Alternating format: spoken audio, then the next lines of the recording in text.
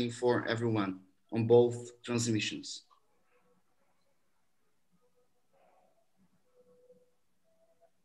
Just another 10 seconds. And then it's okay, we are on. É, bom dia a todos. É, é, com muito prazer que começamos né, esse dia do dia 20 do 11, que é da Quinta Escola de Arqueometria e Ciências Aplicadas ao Patrimônio, bem como da Associação Antecipa, né, que é a Associação Nacional de Pesquisa e Tecnologia e Ciência do Patrimônio. Um prazer recebê-los. Hoje nós é, teremos nosso último dia de, de atividades, né, então encerramos lá às 15 horas. Convido a todos para que permaneçam o dia inteiro nos assistindo, né, até às 15 horas, e com certeza vocês terão muitas novidades e informações. É, nossa, a nossa primeira conferência de hoje, né? Nossos palestrantes é, são um, de, da Itália e é, os, ambos estão na Itália, né? Então são conferências internacionais e eu vou mudar para falar inglês para facilitar essa comunicação. Uh, thank you, everybody. for this um, participation. And I invite uh, Dr. Alexandro Boccolieri and Dr. Sergio Lims to work with us in this morning. Uh, Professor Dr. Alexandro Boccolieri is from University of Salento. He works with uh, several techniques, especially X-ray fluorescence. He, in this uh, CV, he has a lot of works performed, um, and uh, he works with um, uh, some uh, important masterpieces as Michelangelo in Florence and other ones, monuments. He he works analyzing it. It's very important to to to, uh, to thank Prof. Dr. Alexandro for stay with us, and he works and to, to tell us what he, what he is working with. Thank you very much, Dr. Alexandro.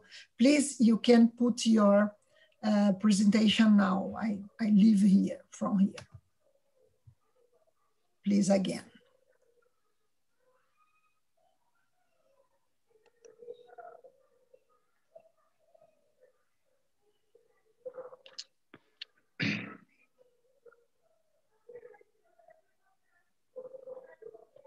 Can I? Yes, okay. Okay. Perfect. Thank you. Perfect. Thank you, thank you, thank you. In this work, the title, uh, use of uh, EDX XRF for the study and the conservation of important work of the Italian cultural heritage.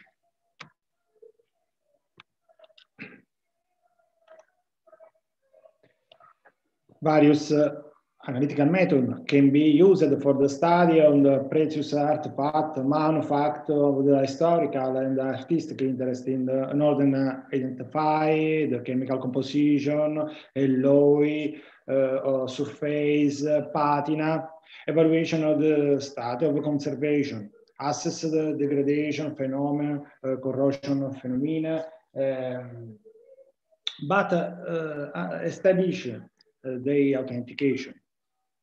But uh, very important uh, um, situation in an in situ and non-destructive technique.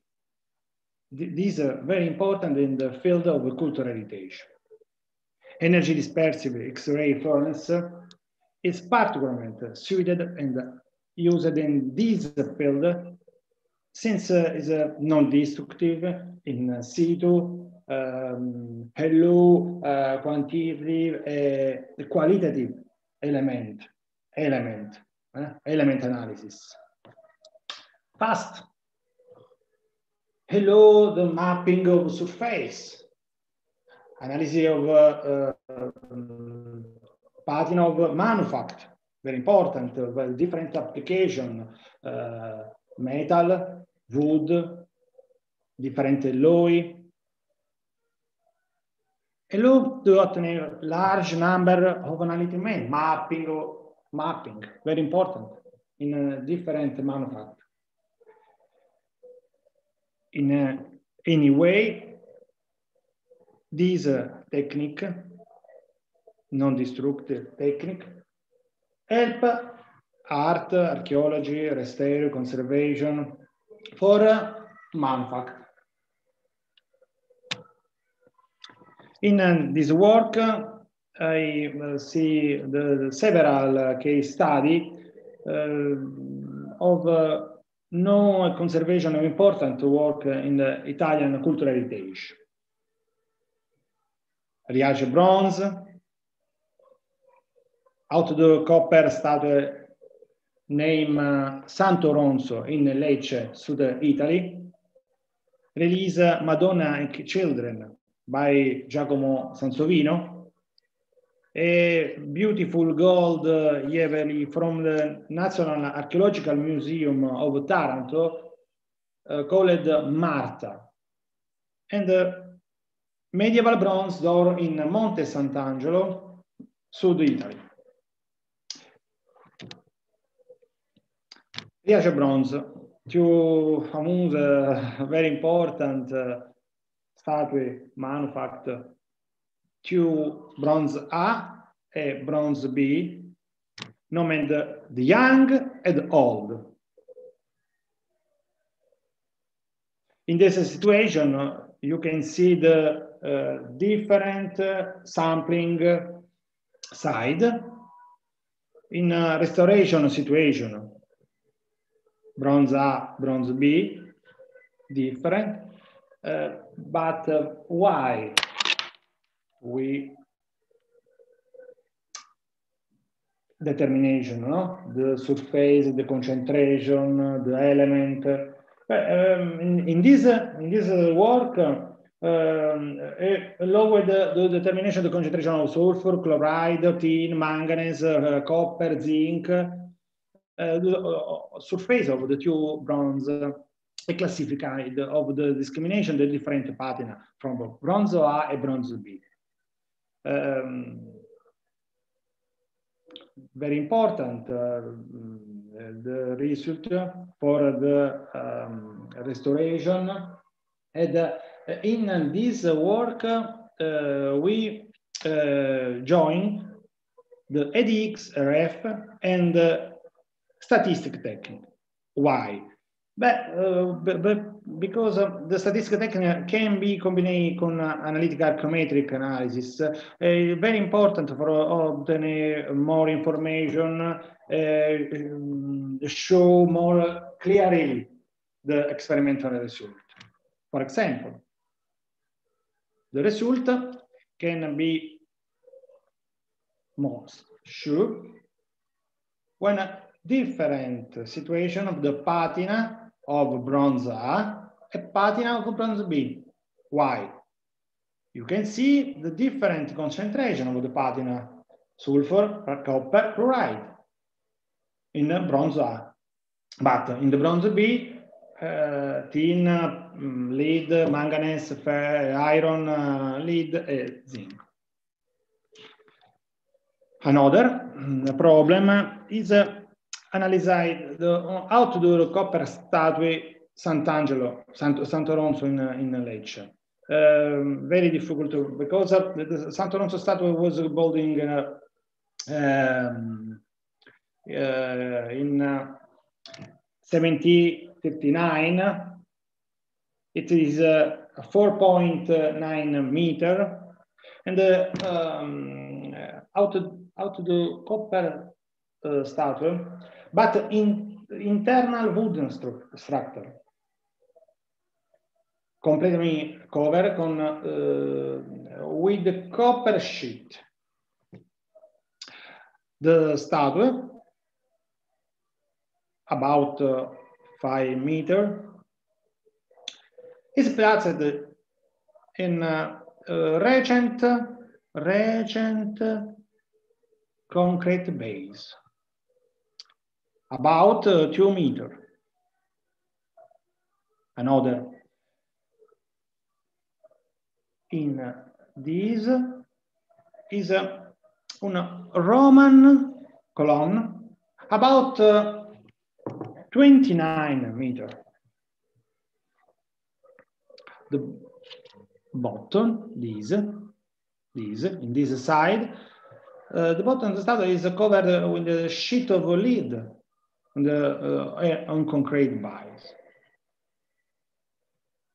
The situation is uh, showing uh, this uh, picture. Rivet, rivet, rivet. Rivet in steel rivet. Corrosion, corrosion, corrosion, uh, degradation.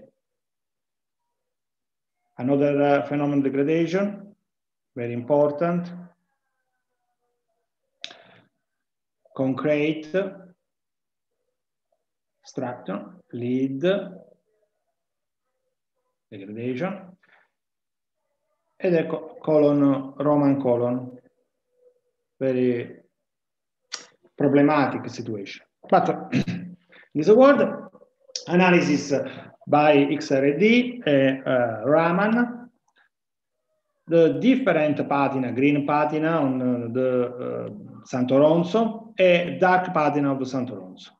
Characterization con brochantite standard e atacam atacamite standard. Confront of a very important situation with two different patina, green, dark, different mineral, brochantite and atacamite. In uh, Roman column, um, very important uh, situation is uh, calcite standard, but uh, um, uh, amorph carbon, very, very, very, very important situation. In this picture, you can see image of the Santa Alonso statue in a room where um, will be restored. Another in photo of a rivet, several, several, several uh, rivet, and uh, uh, original nail used for joining, collect the sheet. The conclusion, the uh, problem used of a rivet used in the last uh, restoration is irreversibly damaged the analysis monument to modify the aesthetic. Green patina were constituted mainly the brochantite, while uh, dark patina were constituted by atacamite. All the patina contain uh, amorph carbon. Uh, carbon very, very, very, very important. The situation with analytical technique as a hello to define the compounds the degradation of the patina of the information obtained. It was uh, fundamentally important for the subsequent work of the restorers. Another uh, case study and um, determination, characterization of the main pigment present in paper mache, really the Madonna and the Child, Madonna e Bambino, by Giacomo Sansovino, preserved in the National Museum of Fine Art Budapest. In uh, this work, uh, joined the X-ray portable and uh, X-ray XRD and uh, radiographic, stereographic radiographic analysis for uh, show the uh, situation of the nail in the uh. Uh, the experimental result in the, the, zinc and barium are present in manufacture. It is uh, demonstrated then uh, artwork has undergone restoration since zinc has been in use and since um, 1840 AD. This situation of uh, before and after restoration. This uh, before uh, with the regional different uh, analysis and uh, after the restoration. Uh, two photos eh, con radiographic eh, manufact uh, for a second photo need uh, 3D glasses. Then gold Jeveli a beautiful uh, jewelry from the National Archaeological Museum of Taranto. For example, Diana, the diadem pendant pair of uh, Yaril. Um, this uh, um, jewelry um, knows Ori di Taranto, è dated in Hellenistic period, um, very, very, very, very beautiful. Uh, the, the aim of this work is to determine the chemical composition, alloy, decoration, but uh, um, important uh, very high concentration in uh, gold. This uh, yearly. Um, we can uh, comparison uh, uh, with another yearly, but very different. You another thought, very beautiful decoration. You earring. in this work, uh, you can uh, see the situation, uh, different uh, concentration of gold, copper, silver. It's possible discrimination, uh, the different uh, composition of the alloy. But uh, in particular, in an, an another situation on the Museum of Taranto, Marta, uh, determined in situ chemical composition and lay, uh, the thickness of the fold oil, gold foil, these very important manufacture. Hellenistic period, yes, um, Golden Crow, e, and alloy chemical composition, um, the 18 level. Level. Uh, non equal, similar uh, but uh, distribution of gold, silver, and copper is very different in uh, 15, 18, and another, another leave. Then, determination of the thickness of the foil. In this work, uh, we used the X-ray attenuation measurement uh, by X-ray source of uh, um, 241 americium. Uh, and um, X-ray determine X-ray.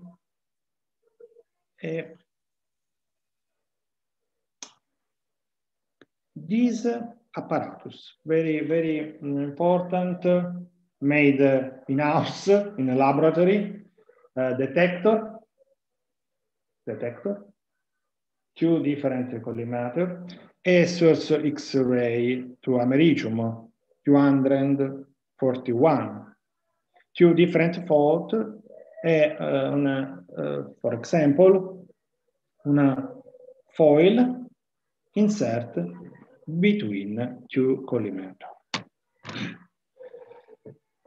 Uh, the equation used, uh, very uh, famous, uh, E in zero, in the foil, it's zero, A. In order to validate the method, uh, analytic method, five different sample, or represent different thickness, 10, uh, 20, 30, 40, but the radiation source of americium uh, è about uh, 40 teenage. E per this range, the radiation are about 16 kiloelectron volt was chosen in order to determination the thickness necessary for our golden lead um, standard uh, thickness, uh, measuring thickness uh, 25, 15. The experimental values of the thickness confirm a good agreement between the standard and measurement values.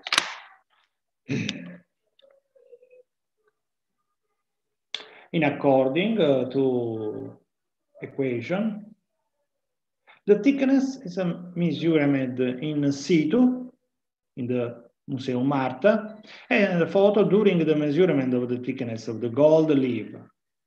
Uh, except uh, for ND, D, dy, mm, non determined, uh, since um, some leave uh, very sediment damage uh, performed uh, uh, or imposed in each other. Another case study, the um, medieval bronze door in Sant'Angelo. Sant'Angelo is a um, town in South Italy, Apulia, South Italy. Uh, bronze um, uh, composed by uh, silver gemine, red green, green decoration, red decoration, yellow, yellow very important. And in this uh, work, a different uh, situation for the distribution of zinc, lead, copper for analysis sample. Uh, but uh, this is very different. Acnone, eh, Alfredo Castellano, Giovanni Buccolieri, Antonio Serra, Roberto Cesario e Eva degli Innocenti. Thank you for your attention.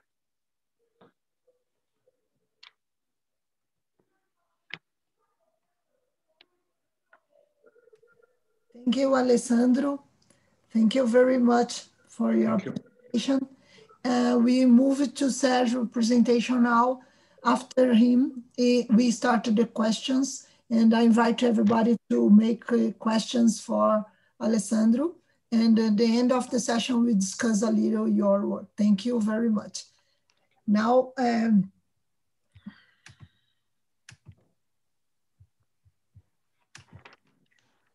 Okay, can you hear me now? Yes, Sergio. Okay.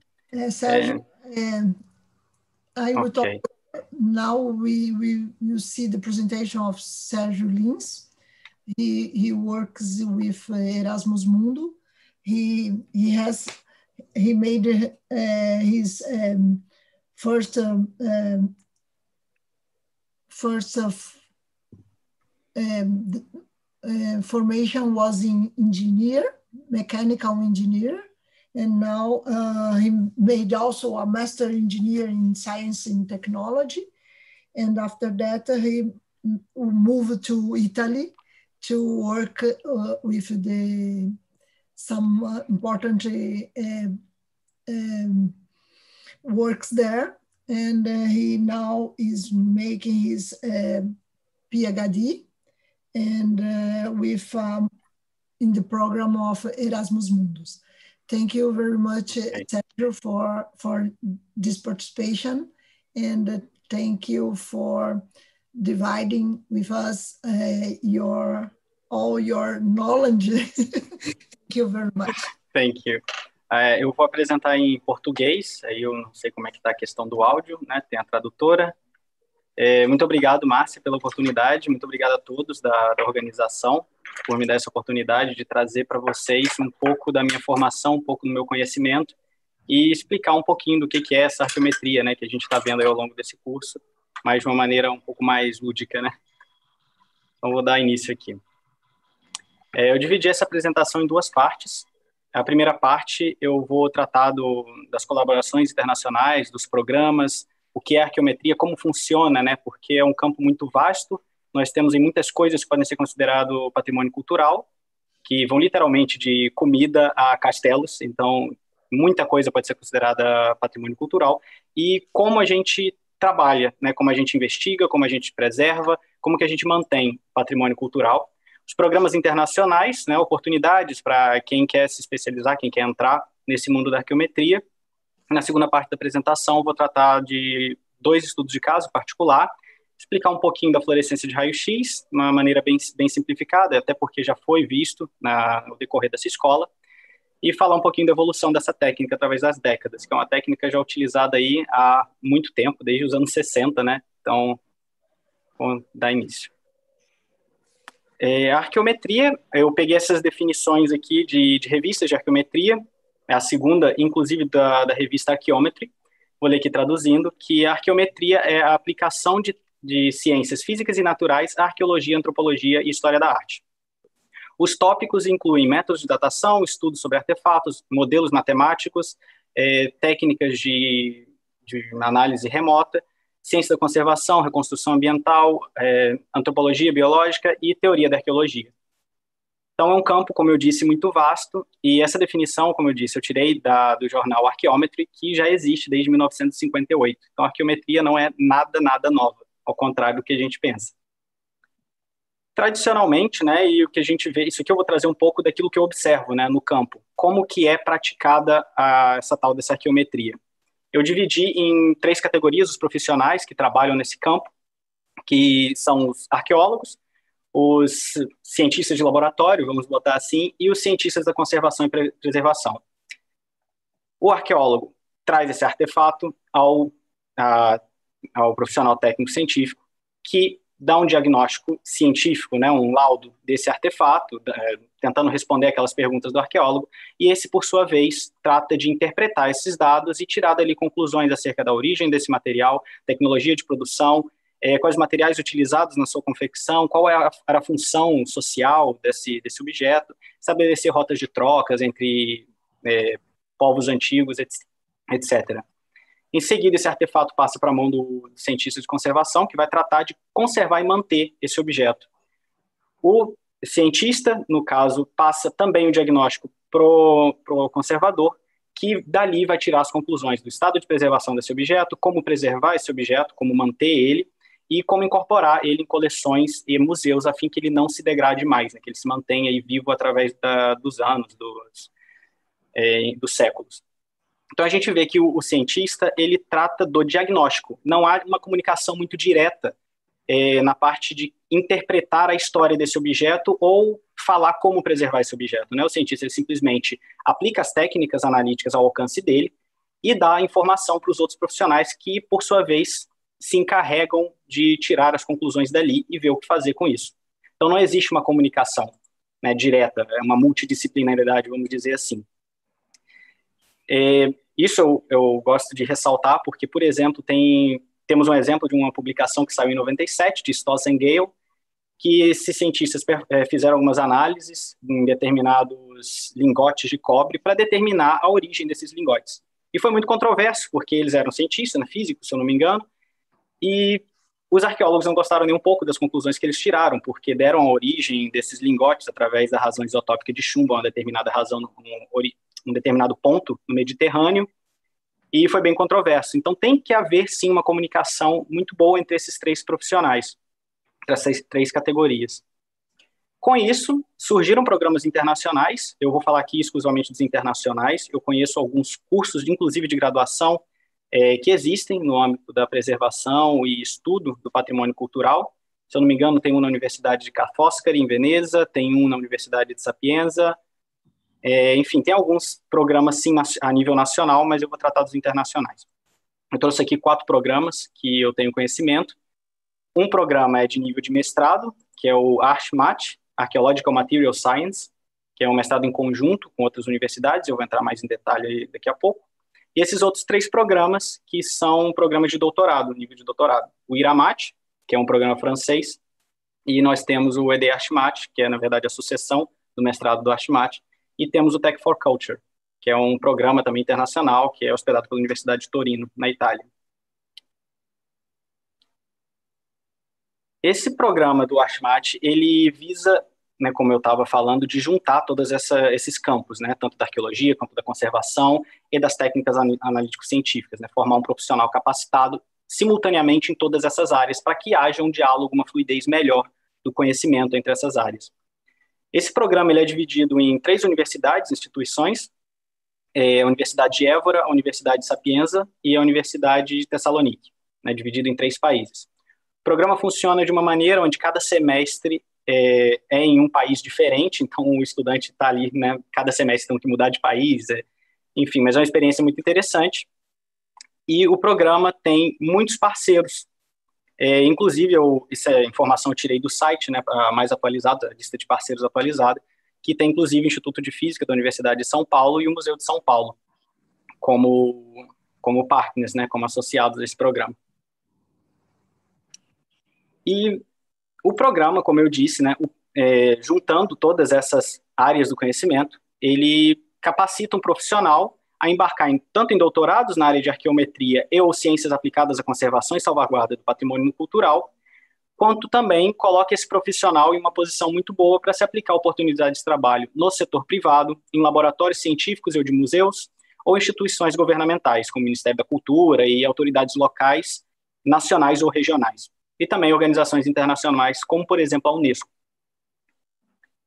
Esse programa, o primeiro semestre é o mais curioso, né, porque como que você consegue juntar pessoas é, formadas, né, com uma graduação em arqueologia, história da arte, física, química, é, engenharia, como que você junta esse pessoal, né? Por mais incrível que pareça, a melhor ideia foi separá-los, né, para nivelar, ou seja, em, é, relembrar, né, os profissionais da área de humanidades um pouco da física, química básica, mineralogia, e aqueles da, que vêm das áreas de exatas estudam métodos de escavação, arqueologia, cultura e contexto.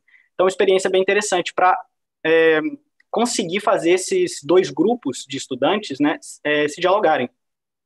Eu, no caso, participei da primeiro semestre mais da parte de arqueologia, então uma coisa que eu nunca imaginei que eu fosse fazer na minha vida, que era literalmente para um sítio arqueológico. Nesse caso aí, a gente nós tivemos aulas de campo em um dolmen, então, nós escavamos lá e tudo mais para aprender como é que, como é, que é né, o campo e estudamos também né, arqueologia básica, técnica de escavação, técnica de prospecção, que vão se prolongando ao longo do, do curso. Né? Então, nos outros semestres, esses conceitos são revistos e cada vez mais informação é passada.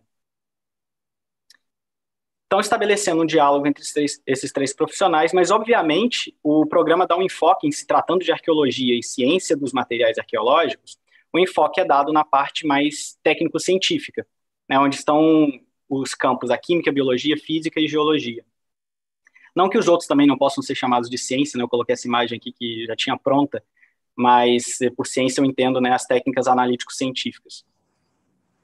E durante esse curso, o profissional ele aprende várias competências, como eu estava dizendo antes, né, física atômica molecular, mineralogia, metalurgia, química dos materiais, botânica, antropologia, estatística, é, todos esses tópicos, o profissional, no final do curso, ele tem, não que ele domine completamente todos, mas pelo menos um conhecimento sobre todas essas áreas, a fim de estabelecer, de novo, aquela conexão e uma comunicação entre os diversos campos que estão ali ao redor da arqueometria. E aí, campos novos, como a paleobotânica, geoarqueologia, microarqueologia, arqueologia paleoambiental, e gestão de riscos. São campos bem mais específicos e mais voltados à arqueologia em si, porém são também ensinados durante o curso e tudo mais. E, não última, a divulgação científica, que ela é muito deixada de lado, né, pelo, por praticamente todos nós, mas é uma coisa muito importante, que não se trata só de publicar, é só participar de conferências, mas também a comunicação multimídia, trazer ao público, né, traduzir todo aquele conhecimento é, ao público, que é uma das coisas que a arqueologia faz, né? Para que, que a gente é, estuda o passado? É para aprender com isso e para trazer né, para o povo como era a vida antigamente e aprender né, com, com os erros do passado. É, arqueometria, nós estudamos praticamente tudo. Eu coloquei ali fotos, o queijo Minas e a pizza de na, napolitana, que são patrimônios é, culturais, a pizza de Nápoles, inclusive, da, da Unesco. É, nós temos vasos, é, monumentos arquitetônicos, fachadas de prédio, é, pedaço de ferro, é, como esse lingote, por exemplo, com a forma de, de couro de boi, quadros, cerâmicas e até sementes, né, restos de fauna e flora, para poder estudar e entender melhor como sociedades viviam no passado. Ou seja, não só objetos, mas também coisas que fazem parte da, da cultura, do dia a dia de povos. Né? O método de fabricação de um queijo, por exemplo, pode ser considerado patrimônio cultural e ele é estudado, ele é preservado é, tem até um, uma cartilha né, que explica tudo sobre o queijo de Minas, né, toda a sua produção, né, a produção verdadeira, vamos dizer assim, que caracterizam esse queijo. E as técnicas, com as técnicas analíticas, nós obtemos informações da composição química dos objetos, é, estado de biodegradação, podemos datar objetos, investigar a estrutura cristalina, estrutura molecular, estudar geodinâmica, dieta de povos e fauna e flora.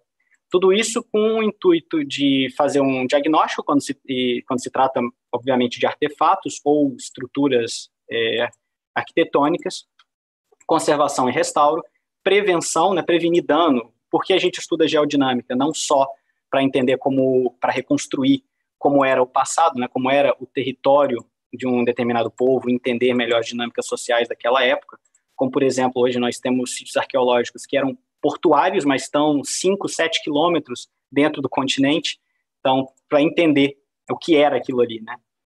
Mas também para estudar a prevenção de, de sítios arqueológicos que estão sob risco de terremotos, etc., como prevenir isso. Como, por exemplo, o sítio de Troia, em Portugal, que teve um estudo muito vasto de geodinâmica para prevenir, né? estudos, inclusive, de salvaguarda, de como proceder, o que salvar no caso de um desastre natural, etc.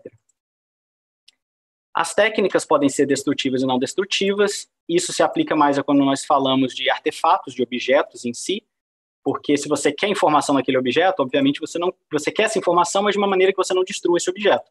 Né? Então, no campo da arqueometria, o, é, o enfoque é sempre mais voltado à parte das técnicas não destrutivas, mas, claro, quando não se tem opção, ou em alguns casos onde a amostra pode ser destruída, no caso de sementes ou alguns outros objetos, essas técnicas são obviamente utilizadas a fim de se obter a maior informação possível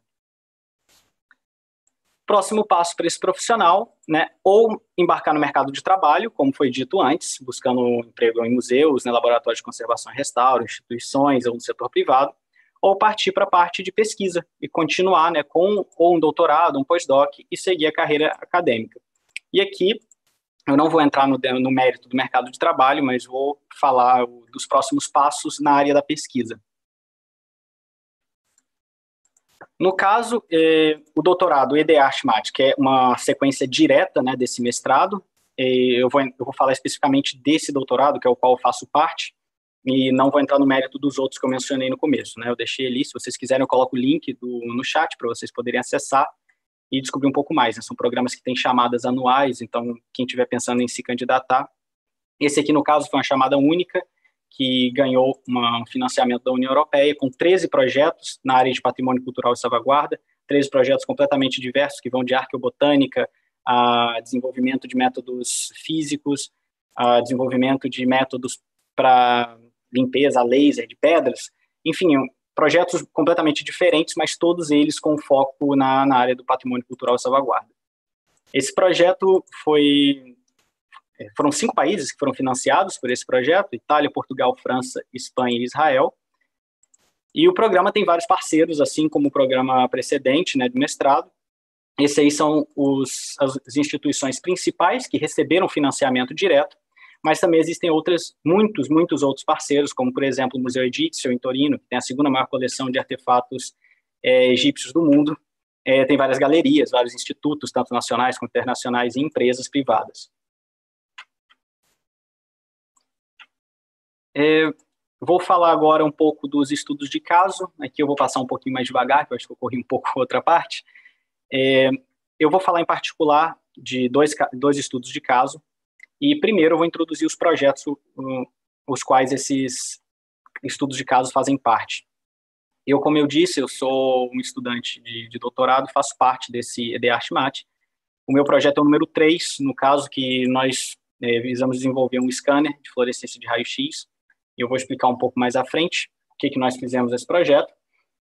E esse projeto também tem um link com o projeto Musa, que é um projeto regional financiado pela região Lácio, né, venceu um financiamento do, do DTT Lácio, e que participa o Instituto Nacional de Física Nuclear, da seção de Roma 3, e ali o Laboratório de Análise Superficial. Com envolto nesses dois projetos tem a Universidade da Sapienza, que é a universidade em qual eu estudo, e uma empresa privada, que é a Ars Mensura, que essas duas instituições estão envolvidas diretamente nos dois projetos, tanto o projeto do ED Archmat quanto o projeto Musa, e no projeto de Ashmat exclusivo a Universidade de Ben Gurion, que é a universidade em Israel. É, a fluorescência de raio-x, para quem ainda não, não viu, né, no decorrer dessa conferência, eu vou falar aqui muito brevemente o que, que acontece quando a gente irradia uma amostra com raio-x. A gente tem uma incisão de raio-x na amostra, que é composta por matéria. E essa matéria responde, né, mais especificamente o átomo, ele responde à radiação. É, quando a radiação interage diretamente com esse átomo, nós coletamos uma resposta. E porque cada átomo é diferente um do outro, como por exemplo o átomo de cobre é diferente daquele de chumbo, eles têm arranjos eletrônicos diferentes, nós conseguimos distinguir os sinais. Então, quando nós coletamos um sinal, nós sabemos se aquele sinal vem de um átomo de cobre ou vem de um átomo de chumbo, por exemplo. E com isso nós conseguimos identificar quais átomos estão ali e, consequentemente, a composição química de um objeto, seja qualitativa quanto quantitativa. Essa técnica é não destrutiva, não requer amostragem, ela é rápida e portátil. Como vocês podem ver nessa imagem ali, são dois espectrômetros de fluorescência raio-x, um que parece uma pistola, que é mais aplicado na indústria, na área de mineralogia, mineralogia, desculpa, que são muito simples de utilizar, né? Literalmente como uma pistola. Você aponta ali no seu material e já tira a informação que você quer da composição química. A sua aplicação é muito ampla, podendo ser aplicada em vidros, metais, eh, cerâmicas e pinturas, né? Sejam elas em tela, em madeira, frescos. Então, é uma técnica muito versátil e não destrutiva. Ou seja, ela é praticamente né, perfeita para arqueometria, para o estudo de, de objetos de, de arte, né? é, artefatos, etc. Ela tem um problema que ela dá informação pontual, ou seja, a gente dispara em um determinado ponto da nossa amostra, né, com um facho colimado, e a resposta que nós obtemos é desse ponto em particular. No caso dessa amostra aqui, como vocês podem ver, esse ponto aqui se vê nitidamente que é diferente desse outro aqui embaixo, né? Parece que tem uma inclusão aqui de um mineral que é diferente. Então, a leitura desse ponto é completamente diferente da leitura do ponto de baixo e esse ponto não representa toda a amostra, né? ele é um ponto específico. Com isso, convém fazer vários pontos, de modo que a gente obtenha uma informação completa de toda a superfície do material, fazendo literalmente um, uma escansão.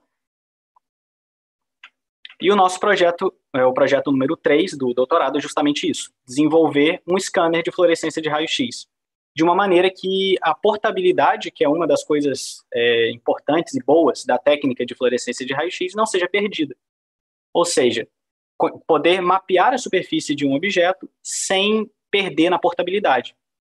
Aqui não dá para ver muito bem a escala do, do instrumento, mas nós colocamos ele uma, uma mala de cabine de avião e transportamos ela com a Ryanair e quem conhece a Ryanair, se essa mala passou pela segurança dele lá, pela, pela segurança de dimensão de bagagem, você pode colocar em qualquer outro avião que não vai ter problema. E nós levamos para um sítio arqueológico em Creta, né, um sítio de Kumasa, que é um sítio minoico. E aqui agora vocês podem ver melhor a dimensão dessa mala, a escala dela. Aqui é o nosso instrumento, com um escudo de radiação improvisado, mas estava todo mundo longe ali da fonte de radiação enquanto o instrumento trabalhava, sem problema algum. E aqui é a mala. Então foi muito tranquilo transportar um instrumento, ele é portátil, funciona muito bem.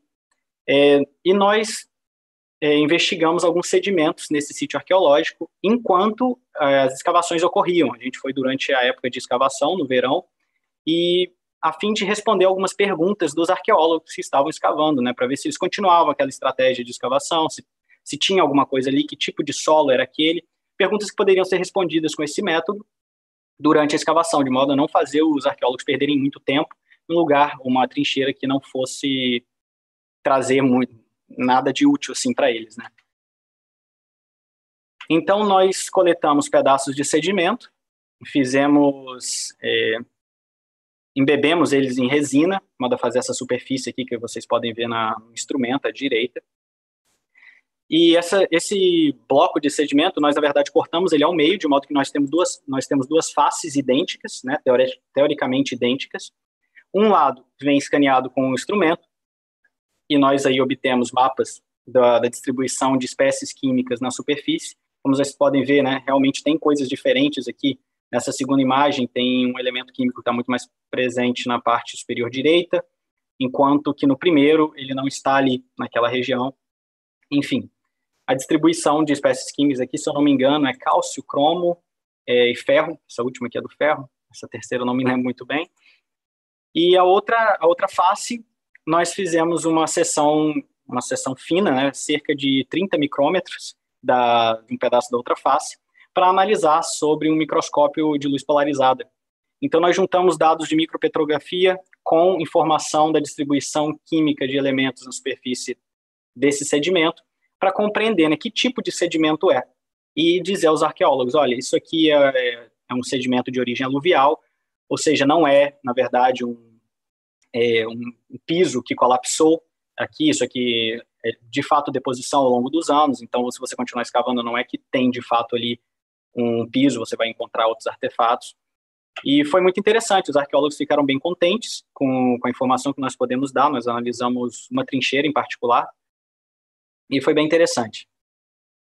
Porém, é, ele é portátil, mas existem objetos que são um pouco maiores, por exemplo, esse quadro aqui, 37 por 32, já não cabe no nosso instrumento, que foi projetado para ser portátil, porém a gente não consegue analisar um quadro que também é um objeto de interesse, né, de patrimônio cultural, principalmente para estudar, né, se um quadro é original ou não, eles contam uma história, né, são como fotografias de, de mais de 300, 400 anos de idade. Então nós tivemos que achar um meio de fazer esse instrumento também ser adaptado a esse tipo de material, né? Porque não adianta ter só ali um instrumento pequeno que serve para determinados casos. Né? Nós queríamos uma coisa que de fato funcionasse para tudo. E aí veio esse projeto MUSA, que é um acrônimo para Multi-Channel Scanner for Artworks, que propunha desenvolver um scanner com múltiplos detectores, ou seja, um pouco mais rápido, focado na análise de objetos de arte.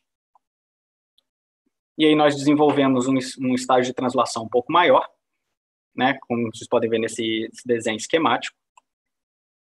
E a cabeça do scanner, né, a testa, eh, foi redesenhada para ser para a gente conseguir colocar ela tanto no pequeno quanto no, no outro estágio maior e poder utilizar o mesmo instrumento em ambos os casos, né, com uma cabeça de scanner só, sem ter que replicar o instrumento, vamos botar assim. Por isso, ele foi pensado de uma maneira completamente modular, né, de, uma, de um modo que a gente pode tirar as peças e colocar peças com extrema facilidade. Os detectores, principalmente, o tubo de raio-x pode ser trocado muito facilmente, e os sensores de distância, que são esses tubos verdes aqui que vocês veem, são três, também podem ser removidos. Então, o scanner continua sendo portátil, né, se alguém quiser utilizá-lo da maneira portátil, se for necessário transportá-lo dentro de um avião, e também pode ser utilizado de uma maneira móvel, é, sendo capaz de analisar obras maiores. E esses detectores são plug and play, é, basta colocar ele ali com os parafusos e o USB e o cabo USB, que o programa de, de análise já reconhece os detectores por porta USB e já está pronto para partir. É, agora os estudos de caso que eu vou trazer para vocês aqui bem brevemente. E nós utilizamos esse scanner para analisar um azulejo do século XVII, um azulejo português, esse aqui é o azulejo que nós analisamos. Nós dividimos ele aqui em quatro pigmentos, né? Amarelo, branco, azul e laranja, que nós conseguimos identificar. E essas duas áreas aqui que foram escaneadas com instrumentos de macrofluorescência diferentes. Nós também fizemos espectroscopia micro-Raman, microscopia ótica e fluorescência de raio-x, com simulações de Monte Carlo, para tentar entender a estratigrafia dessa amostra. Eu vou mostrar esse vídeo rapidinho para vocês entenderem mais ou menos como funciona a técnica de macrofluorescência. Né? Nós colocamos o scanner ali, coletamos os espectros, um por cada pixel, né? onde cada pixel, na verdade, é um ponto de fluorescência de raio-x. Temos aí o nosso cubo de dados, de onde nós podemos extrair os mapas elementais. No caso, cada pico desse aí representa um elemento químico, e nós conseguimos tirar fora as informações que nós buscamos. Esse projeto foi feito em colaboração com vários institutos. Eu gostaria de agradecer a professora Marta Manso, que cedeu a amostra para a gente, da Universidade Nova de Lisboa.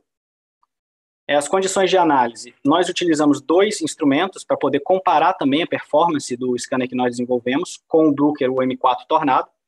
As condições foram mais parecidas possível, embora é, colima, nós utilizamos um colimador e o M4 Tornado tinha só uma ótica policapilar, né? ou seja, um facho de raio-x muito mais focado do que o nosso e o tubo do é, material do tubo também diferente. Processamento de dados foi feito à parte, né, porque são dois instrumentos diversos. O nosso instrumento dá uma série de, de arquivos, onde cada arquivo é um espectro, que, que depois são transformados em um cubo de dados e processados com o nosso, nosso software, né, que é open source e está disponível para download. O M4 ele cria um arquivo cru que é processado com o software proprietário, né, da Brooker, o Sprit. E os resultados são sempre uma série de imagens JPEG ou PNG, e aí nós vamos comparar essas imagens. E essa foi a área coincidente dos dois instrumentos, que teve um pequeno offset entre uma área e outra, que o azulejo foi transportado. E aqui nós temos ma os mapas de alguns elementos químicos de interesse. No que diz respeito ao azul, é, nós observamos a correspondência de cobalto, níquel e arsênico. Fizemos um scatterplot de, de correspondência entre o, o níquel e o cobalto. Tem uma forte correlação entre esses dois elementos. Nós tentamos fazer a mesma coisa com ferro, porém se vê que a correlação existe uma correlação ali embaixo, mas não, não diz muito esse gráfico. E isso, obviamente, é porque temos essa forma de S aqui que representa mais o pigmento laranja do que o azul. Então, nós selecionamos uma área menor, aqui, como vocês podem ver por esse quadradinho vermelho, e fizemos a correlação com o ferro e o cobalto, que veio muito melhor, dizendo que esses dois elementos químicos estão de fato juntos. E aí, olhando o arsênico mais uma vez, então nós temos um pigmento azul à base de ferro, cobalto, níquel e arsênico. Nós tentamos melhorar a imagem do arsênico no nosso programa, mas as, é, as contagens eram muito baixas, né, o sinal muito, muito, muito ruído.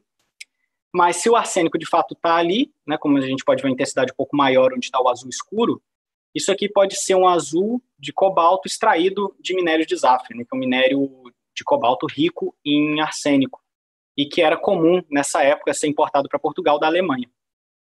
Nós fizemos algumas análises de micro-Raman no pigmento azul, tem uma pequena diferença do azul mais escuro para o azul mais claro, onde o pico do cobalto silício é maior, mais intenso no azul mais escuro, porém, são, fora isso, são praticamente idênticos. No pigmento amarelo, nós olhamos as imagens de chumbo, antimônio, ferro, cálcio e zinco. O cálcio muito, muito ruído, então nós desconsideramos. A imagem do antimônio do Bruker M4 veio muito melhor do que a nossa, né? Porque por questões de tanto da geometria quanto do, da ótica que eles utilizaram. E nós fizemos correlações para tentar identificar o pigmento amarelo. Infelizmente, nós só podemos fazer a correlação com os dados do nosso instrumento, já que os dados da Bruker são proprietários e a gente não conseguiu extrair para comparar essas duas imagens. Mas fizemos uma correlação entre os dados do antimônio e zinco. Não tem uma correlação muito boa, mas visualmente, sobretudo se a gente comparar com a imagem do M4, zinco e antimônio estão juntos. O chumbo também. Então, pode ser que a gente está falando de um amarelo antimoniato de chumbo. Pode ser o amarelo de Nápoles. Indo rapidamente para o laranja, é, o laranja é um pigmento muito curioso. Se alguém tiver alguma dúvida, por favor, pergunte depois, que eu acho que a gente está ficando sem tempo. Mas é um pigmento muito estranho, principalmente porque ele é atribuído a uma mistura do amarelo com hematita. Mas o amarelo tem chumbo, e a gente não vê tanto chumbo assim no pigmento laranja. Tanto que você, aqui o sinal do chumbo está nessa região, porém o ferro e o chumbo são praticamente um negativo um do outro, né? Então, muito dificilmente esse ferro está junto com o chumbo. Uma coisa um pouco particular. E esse pigmento até aparece um pouco estranho, ele é mais, é, mais áspero, né? O toque ele não é liso como o resto do azulejo. Pode ter sido que ele esteja, tenha sido pintado por cima. E os espectros Raman mostram que de fato nós temos hematita ali, o que confirmaria a presença do ferro. Né? Então vocês podem ver o, a referência da hematita e um grão um grão mais escuro que a gente achou ali, a gente fez com micro Raman, né? Então nós conseguimos acertar é, precisamente esse grãozinho preto para saber o que, que ele era, se tratava de hematita. Em, no que diz respeito ao branco, é o tradicional branco de azulejo à base de estanho e chumbo, nada de muito especial aqui. As simulações de Monte Carlo nós fizemos para poder compreender a estratigrafia, não vou entrar em muito detalhe ah, aqui na parte do algoritmo, mas é um algoritmo iterativo, a gente determina uma configuração dessa amostra, executa a simulação, vê se é igual ao dado experimental, ajusta, repete o algoritmo até que a gente obtenha um match entre o, o dado experimental e o dado simulado. Nós conseguimos, nós fizemos simulações para o azul escuro, que nos deu um, uma espessura de mais ou menos 70 microns para esse azul escuro, que é completamente razoável com a literatura. O amarelo, né, nós obtivemos uma espessura um pouco menor, de 50 microns, e o branco, uma espessura entre 280 e 350 micrômetros, que é completamente razoável também, de acordo com a literatura. Esse branco aí varia de 200 a 500 micrômetros de espessura. É, indo para o próximo caso, esse aqui é muito interessante, de Rafael a Rafael, é, foi feito em colaboração com o Instituto Nacional de Física Nuclear, Universidade de Sassari, é, Galeria Nacional, obviamente, que tem o quadro, Universidade da Sapienza e Ars Mensura. E eu vou começar aqui com a breve história, porque esse quadro, de fato, tem uma história muito interessante, não só dele em si, mas também de análise. A primeira vez que esse quadro foi investigado foi em 1984, e ele parecia dessa maneira. Ele era assim um pouco mais esverdeado por conta do verniz envelhecido. É, foram feitas análises de fluorescência de raio-x nesse quadro e uma radiografia. Na radiografia, na época, se acreditava que talvez pudesse ter uma paisagem pintada aqui por trás, né, que depois o Rafaelo desistiu ou pintou por cima, né, quem sabe. E as análises pontuais de fluorescência de raio-x em 84 foram feitas com instrumento, né, a, compatível com a época, com uma fonte radioisotópica de ameriço e um detector, se eu não me engano, de, de germânio. Não, não tenho certeza agora. Foram feitos alguns pontos, eles detectaram diversos elementos para identificar a paleta pictórica né, de Rafael na época. Seguindo, em 2004, o quadro foi restaurado, agora parecendo muito mais bonito, e como ele é hoje, o quadro hoje ele aparece exatamente assim, se você for lá no Museu ver. E para esse processo de restauro de 2004, tinham ainda, ainda algumas perguntas pendentes de 84. É, então foram feitas mais análises de fluorescência de raio-x na parte do turbante, para compreender que pigmentos foram utilizados ali, né, uma parte muito complexa do, do quadro. Foi feita uma imagem de reflectografia no infravermelho.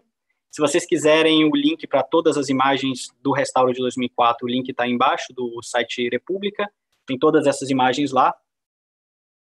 E uma coisa interessante é, no que diz é, respeito à evolução da técnica, né, que a própria revista Kermes, que é uma revista de, de restauro, já fala que a técnica de fluorescência de raio-x utilizada nessa época ajudou muito mais por ser mais sensível e conseguir detectar determinados elementos que com um instrumento antigo, é, com a, o radioisótopo de, de ameriço, não conseguia detectar, né? Então já houve um avanço significativo da técnica em 20 anos. E agora, em 2020, nós analisamos esse quadro com o scanner que foi desenvolvido. Esse aqui é o, é, o estágio de translação, que eu mostrei o esquema mais cedo. Nós analisamos esse quadro com a macrofluorescência de raio-x, ou seja, nós fizemos um mapeamento de toda a superfície desse quadro para compreender a distribuição né, das espécies químicas na superfície, quais foram os elementos, é, quais foram os pigmentos escolhidos por Rafaelo para fazer esse quadro, se tem alguma coisa escondida nesse quadro, que normalmente se encontra quando se faz esse tipo de análise. É, nós tivemos que dividir esse quadro em 29 partes, porque essas análises foram abertas ao público, então nós tínhamos um horário restrito de trabalho, a gente começava cedo de manhã, o museu abria, e nós ficávamos ali até um pouco depois do museu fechar e não podia deixar o instrumento funcionando a noite inteira, né, porque esse tipo de análise demora. Então, nós tivemos que dividir em 29 partes. O problema é juntar tudo isso depois para formar uma imagem inteira, né, porque a gente tem aqui a, os códigos de cada pedaço, cada pedaço desse é um cubo de dados, assim como a gente viu para azulejo, né, cada pedacinho desse é um cubo de dados. O problema foi colocar tudo isso junto. E aí, tendo já o nosso software já um pouco desenvolvido nessa época de análise de dados, nós escrevemos um, um algoritmo que agora está implementado no software que está disponível para download, que é o Mosaic, que a gente carrega ali os cubos de dados como se fosse uma imagem no Photoshop, alinha eles de acordo ele manualmente, pode rotacionar é, a cada 90 graus os cubos de dados para que eles fiquem na direção correta. E aí a gente troca a prioridade, consegue colocar um à frente do outro, como no Photoshop mesmo, com esse esquema de camadas, e compilar tudo isso em um grande cubo de dados, que representa toda a integridade da, da obra, no caso. Nós escrevemos alguns algoritmos automáticos para tentar ajustar a diferença de contraste entre um pedaço, um cubo de dados e outro, mas também existe a opção de corrigir manualmente cada cubo de dados, ajustando o histograma da imagem que o representa. Então, depois de compilar todos esses dados, é até que rápido, é, demora cerca de 5 a 6 minutos para fazer todo esse processo de compilação. Obviamente, a parte de colocar, ajeitar eles é um pouco mais demorada, mas o cálculo em si, compilando todos os dados, é bem rápido. E nós fizemos o fit de todos esses dados, é uma operação de, de matemática, operação matemática um pouquinho mais complexa, demorou seis horas mais ou menos, para a gente conseguir extrair todos os dados e nós obtivemos uma série de imagens. Eu não posso mostrar um, muito mais do que isso aqui, isso aqui é o que saiu na mídia, né? Nós temos acordos, infelizmente eu não posso mostrar mais do que isso. É, essas imagens vocês encontram né, em jornais.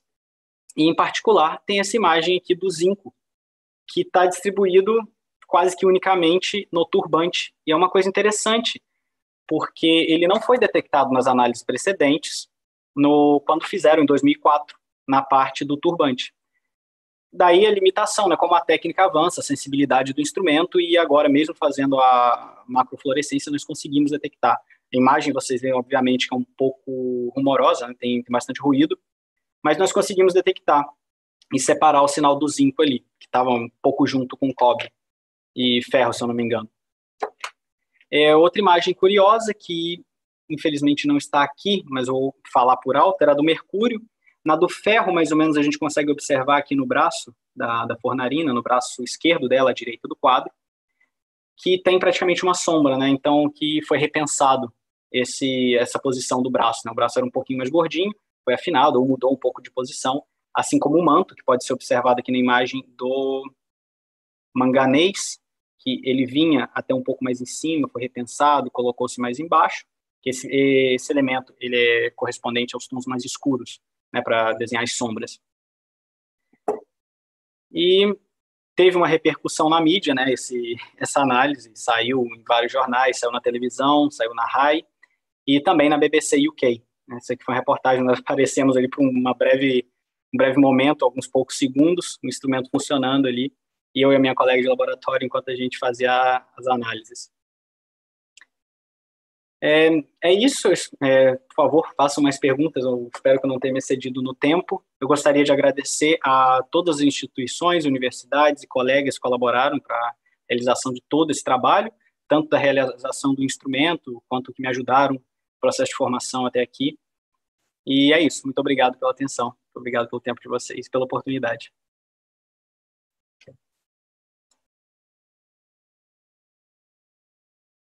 Thank you. Thank you, Sergio. Thank you, Alessandro. We have some questions. Um, the first two one, uh, I talk with uh, Dr.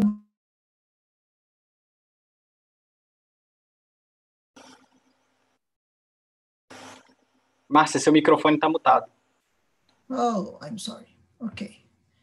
Thank you. Thank you very much for uh, I started the questions now. And first, uh, the first question will, will, be to Dr. Alessandro. And uh, the question is, could you please comment on how you how did you calibrate the portable XD, XD, XRF instrument for gold, silver, and copper quantification, please? Uh, your, your sound is closed. Okay. Okay. Sì, perfetto. For the calibration, the um, silver, uh, aurum, and copper, uh, we used the different combination with different sample um, near the, uh, the sample. For example. Mm? Um, in relation to manufacture. Uh, the Everly, uh, for example, um, new, um, we obtain the sample standard very uh, similar to uh, manufacture. Combination of the different, uh, uh, different um, element. When possible, by the standard multi-element standard when possible, but no, no, no, no, no, no, no ways. Okay. Okay, thank you. Thank you. Um, Sergio, uh, could you, uh, what is the dimension? Oh, I'm sorry, it's go up. Uh, the, the, the scanning system, the, the great dimension, the sensor has the autofocal, you have an autofocal in your system, the, the big dimension. Uh, we, we don't have the autofocusing on both of them. This is a security criteria because we don't have a motor on the z-axis. It just works on the x and y.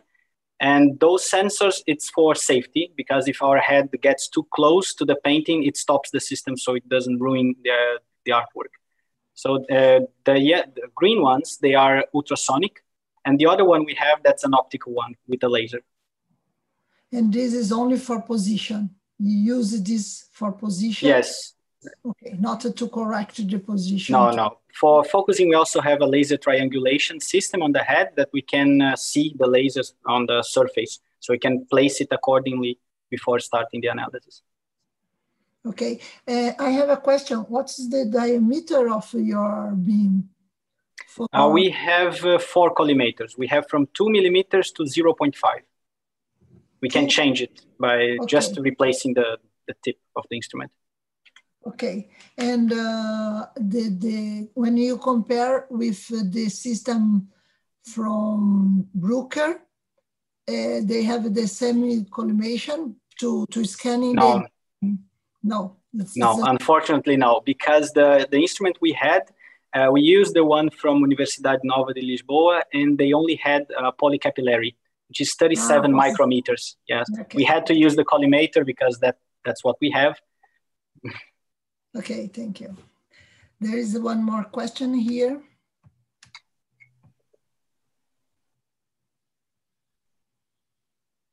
And Dr. Carla asked to Dr. Alessandro, um, the carbon on the large is statue could not be organic material? Um, it's possible, but um, for a different, um, we used the, Raman spectroscopy. Mm-hmm. It, uh, by Raman spectroscopy is port- portable. Portable. It's a possible difference. The uh, organ, uh, carbon, um, the the band uh, band G, band D of organic uh, organic. Um, uh, for uh, um, manufact uh, Autodur um, Santoronzo, um, uh, the carbon is a deposit, deposit of uh, beard or um, uh, pollution. because the, the stata was in, in a center of the city. Quindi, okay. Okay. Perfect. And probably there is a lot of carbon around. yeah. And yeah. Uh, ah, Dr. Carlos Apolloni asked to Sergio if he could uh, explain a little more about the simulation code and your results. Okay, uh, we used the XRMC code that's the 6.4.1 version, and where we write the, the shape of our of our sample, we can define the planes. So we define the, the stratigraphy before and the composition of each phase that uh, represents uh, the strata. So then we simulate the X-rays. We use the up to third uh, interaction order uh, because the, the errors they propagate, so the, the results won't be so good if we increase the order. We did not simulate roughness or anything like that and we used uh, 40 kilovolts and 50 micron pairs tube. So we, the intensity we just scale up and down with the algorithm because that doesn't count.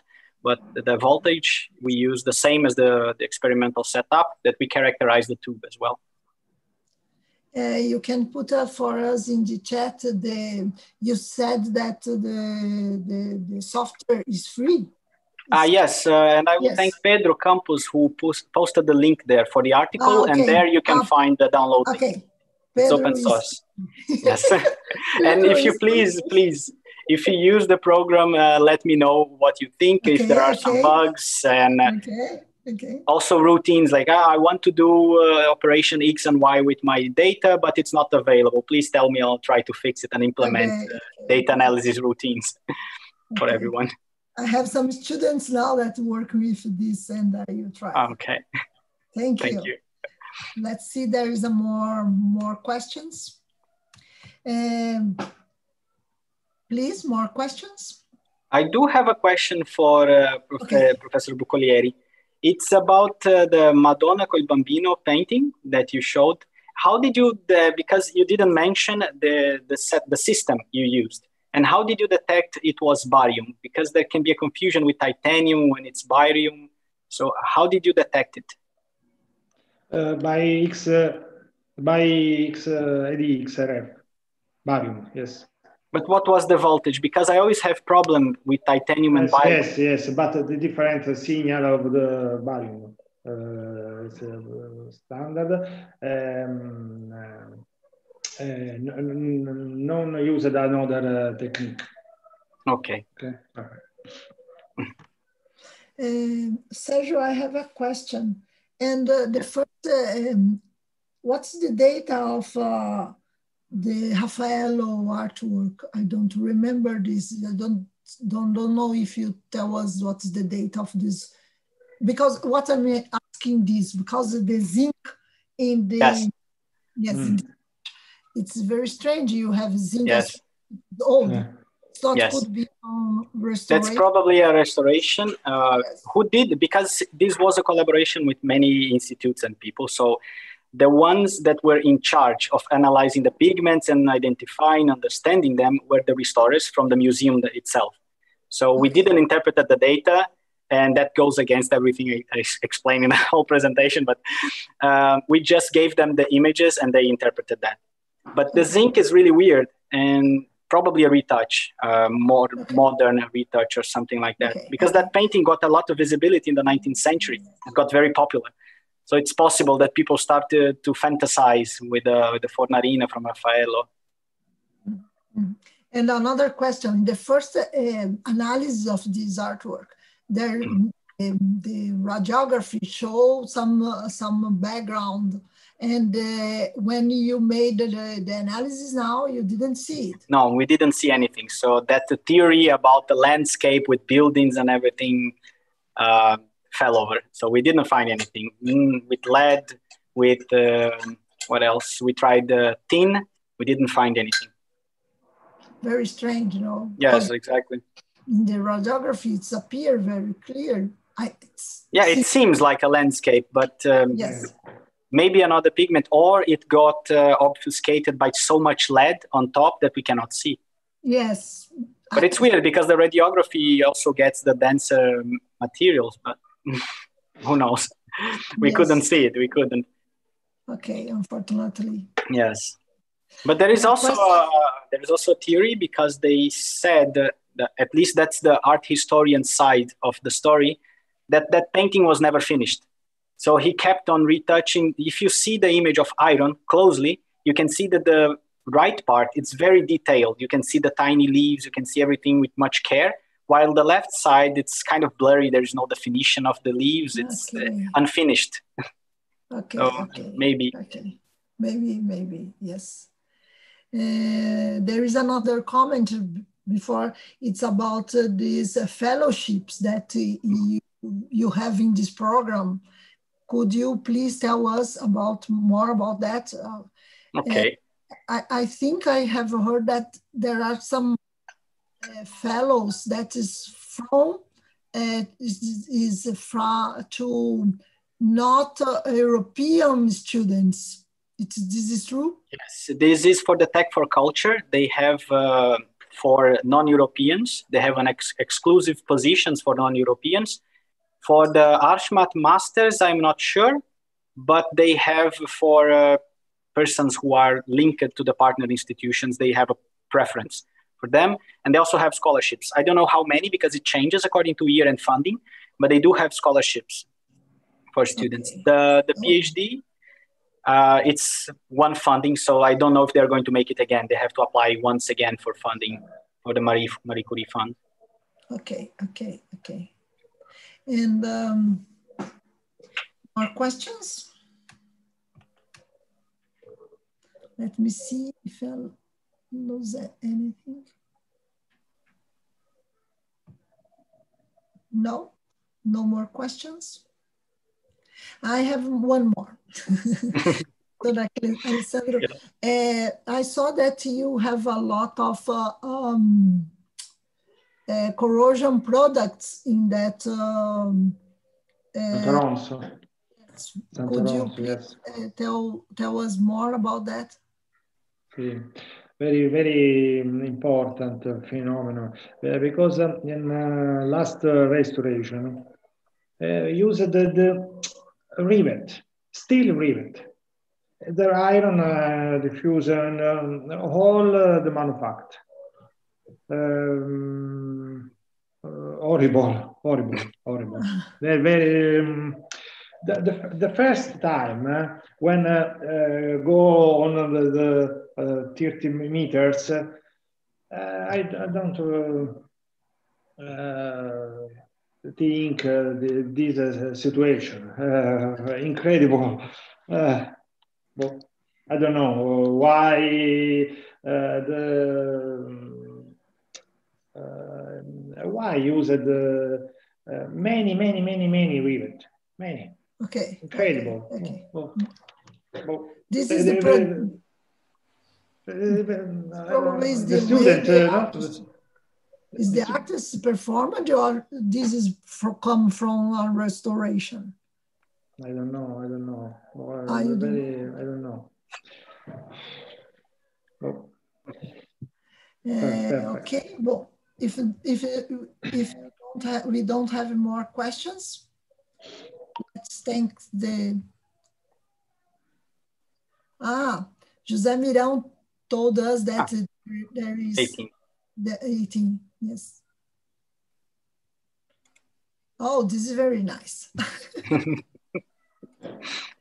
we need, uh, I, I, suppose that there are, um, uh, Mirão, uh, José Mirão could help us, but I, I, I suppose we have um, um, a motivation from the institutions for these fellowships to work with cultural heritage. And did you feel like that, that they are promoting this area uh, yes, yes, they are. It's it's the whole objective of uh, of the course, and it was really interesting.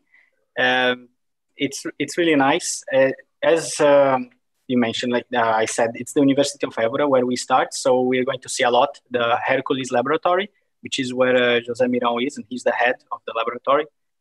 So we, we really do learn a lot of things, and um, I must tell that studying archaeology was fantastic and uh, it really helped to understand the art historian side of the story and the archaeologists because uh, there has to be a communication between everyone so they can speak the same language and understand what are the problems how to solve them in a way that everybody is happy and we get most of the information from everything.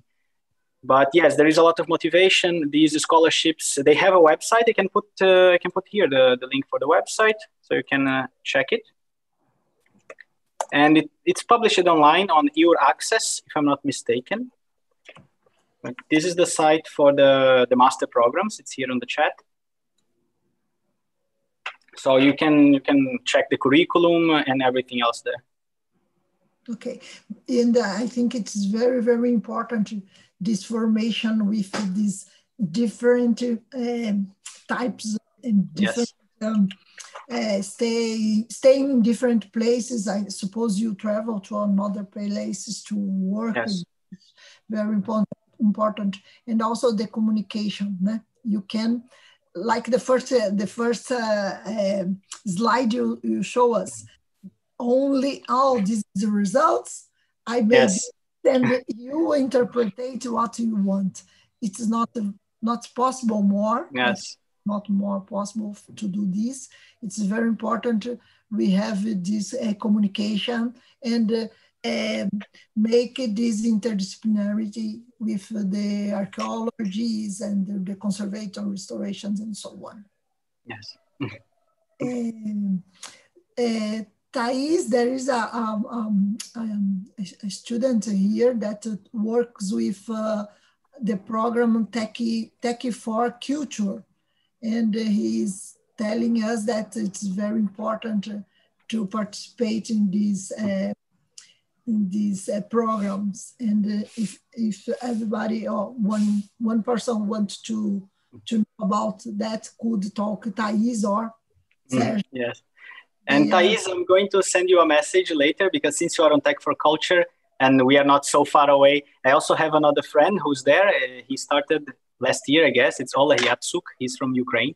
Now he's in Rome, but then I don't know if you know him. I'll probably text you. Yes, yes, yes. Okay. Okay. Uh, I think it's enough. Okay, there's no more questions. Thank you to everybody. It was a pleasure to stay with us. And um, we now have some um, time. Let me see. I will show my, what's this? What is this?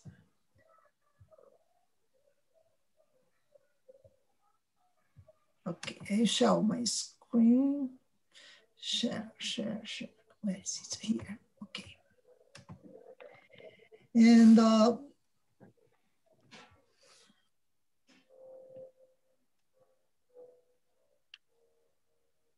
the next uh, speakers will um, Dr. Carlos and Renato, and uh, we have some minutes for before this. The time we are we come back again at 11 the section is continuous open. If everybody wants to, if one person wanted to talk with Dr. Alessandro or Sergio, they they stay here for some minutes to to answer, okay. and uh, we we started the section again at uh, eleven.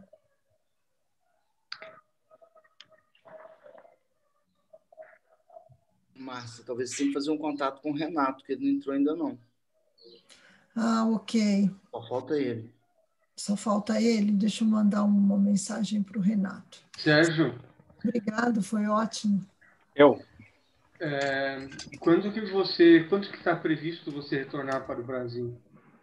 É, o doutorado dura até fevereiro de 2022, na verdade, final de janeiro, mas início de 2022 é quando acaba o doutorado. E você já tem ligação com alguma instituição aqui no Brasil? No Brasil, que eu conheço é a Márcia, o pessoal de São Paulo, é, Joaquim, da, da, Universidade do Rio de Janeiro, estadual. Eu não tenho muito contato, porque eu comecei essa, essa parte do é, Cultural Heritage, gente, patrimônio cultural. Comecei aqui fora, praticamente.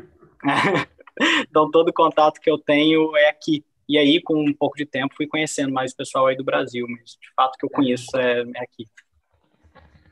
É, é, uma parte dos grupos, não todos estão representados, né, mas os maiores, talvez, é, que trabalham com a área de arqueometria e artes, estão representados no programa desse, dessa escola, né? que seriam contatos, pelo menos para colaboração é, né? quando você retornar, se você retornar. Né? Sim, seria ótimo a colaboração mesmo, não retornando, a gente sempre pode colaborar, né? sempre tem o que fazer.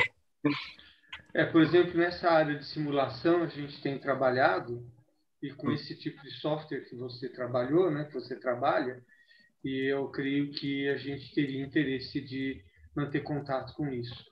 Mas Ótimo. depois a, a, gente entra em, em contato, obviamente, né? Sim, sim. Mas é, parabéns pelo equipamento é, de macro XRF que você montou. Obrigado. O seu doutorado é muito bom, uma performance muito boa. Obrigado, obrigado.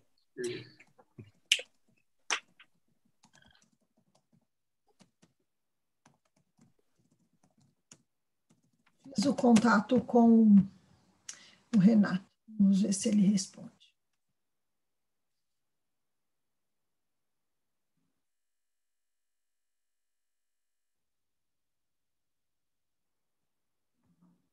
Mas eu adorei essa ideia, Sérgio, de você olhar a obra em três momentos diferentes, né? O quanto, na verdade, isso mostra o quanto é importante é, reavaliar a obra reavaliar. instrumentações, né?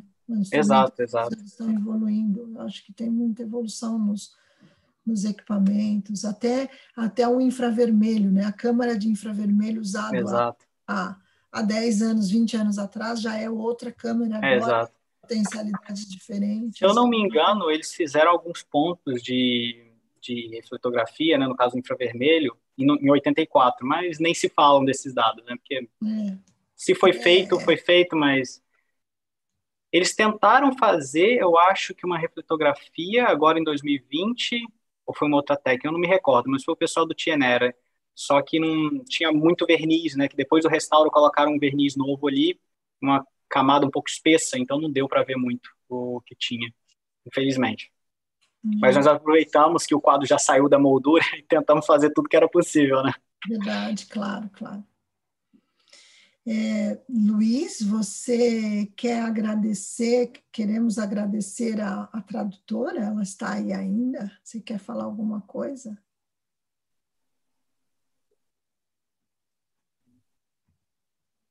Sim. Nara, você está você tá na sala ainda? Deixa eu ver aqui. Sim. Então, é, essa é a última sessão né, que você está colaborando com, com o evento da gente, já participou de outros. Eu queria agradecer publicamente pelo seu trabalho, pela qualidade do trabalho. E com certeza a gente vai ter outras oportunidades para continuarmos esse tipo de colaboração. Então, muito obrigado para a Nara Lemos, que é a nossa tradutora do evento. O nome dela consta na, na, na ficha técnica e faz parte também do, desse sucesso do, dos dois eventos que a gente promoveu. Então, muito obrigado, Nara.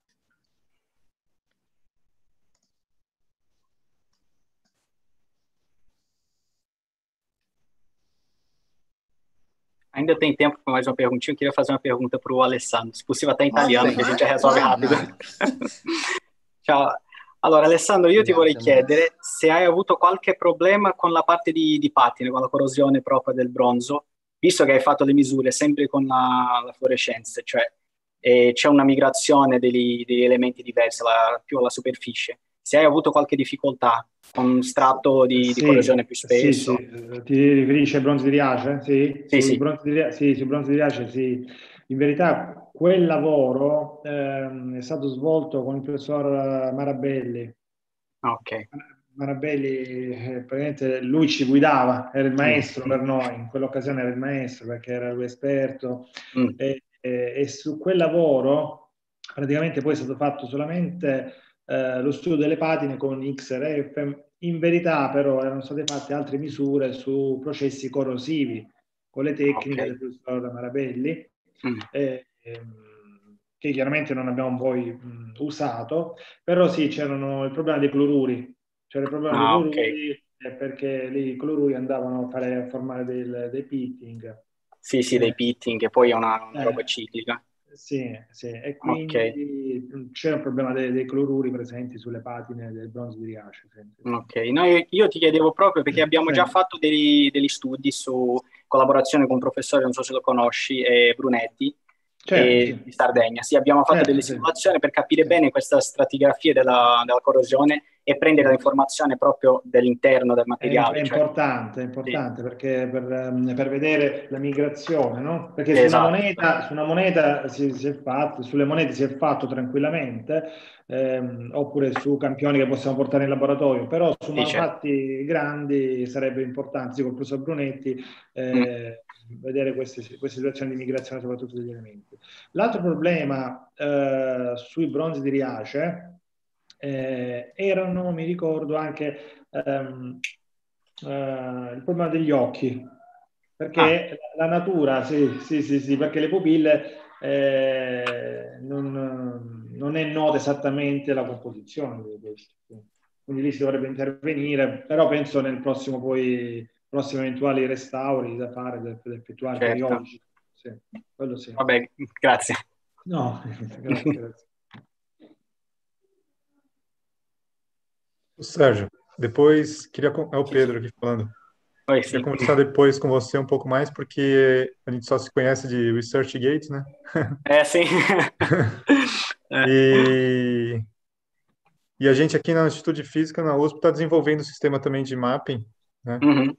O pessoal do Rio, até o Renato entrou agora, eles compraram um e o Luiz Souza sim, também está adquirindo um. Mas aqui na Instituto de Física a gente está desenvolvendo um.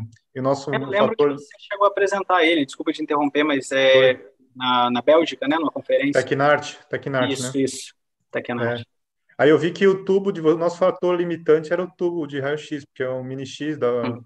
da Amptec, só que Sim. a estabilidade dele é baixa, a potência é baixa. Eu vi que o tubo de vocês também é relativamente portátil, não é aqueles grandes da Brooker ou da. Sim, ele é bem pequeno. A diferença é que ele não funciona com USB, tipo lá da Amptec, né? Você não precisa carregar a fonte dele. Entendi. No caso. O nosso tem um, é um amplificador de sinal, mas é bem pequeno, uma caixinha mais ou menos assim mesmo. É, só que tem que ter a fonte, né? tem que colocar ele na tomada e tal. Só que ele é portátil também baixa potência. Esse a que a gente usou são também. de 4 watts, são de 4 watts. Esse ah, que a gente 4 watts. Agora a gente está pensando em comprar um novo de 10 watts, que ele estava saindo, incluso taxa, IVA, importação, etc, etc, estava saindo a 10 mil euros o tubo, se eu não me engano, da Moxtec, mesmo modelo, só que mais potente. Entendi. E vocês tinham uma estabilidade boa? Quanto tempo de medida, mais ou menos, vocês Olha, eu vou te falar que a gente fez um outro quadro agora para um, um privado. A gente deixou o instrumento funcionando. Foi uma semana praticamente assim, com, com pausas de duas horas entre cada pedaço do quadro.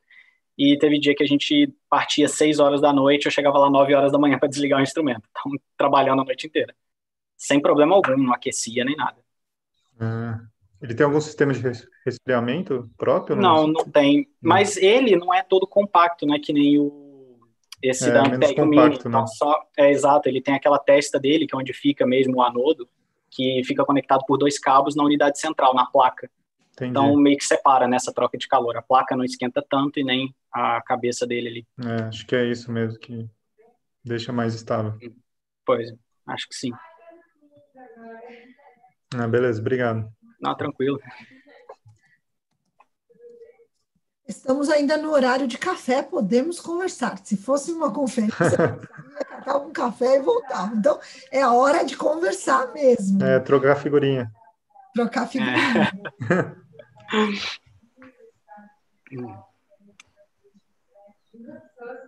E o detector que vocês têm é de quanto? Desculpa perguntar. É um daquele SDD 123, não é? É, a gente não. fez o teste inicial com 123, ah. mas a gente também tem o os, o, não um, dois, três, o, como chama? Nós temos o... Ah, o PS5 separado, é o Fast. Ah, ah, aquele 75. É. Ah, sim. A gente chegou a trocar, a gente colocou um de 75 agora junto com o de 25 e realmente ele conta muito mais. É, é, não, é. a diferença de performance. Sim. Mas o nosso problema ainda é um pouco a resolução, mas eu percebi, parece que sua resolução também ela é larguinha, né? Assim, comparada com o da... É, é. sim, sim. É, a gente faz é um milímetro, né? Cada pixel é um milímetro. É, a gente chegou Quanto a fazer isso você... também.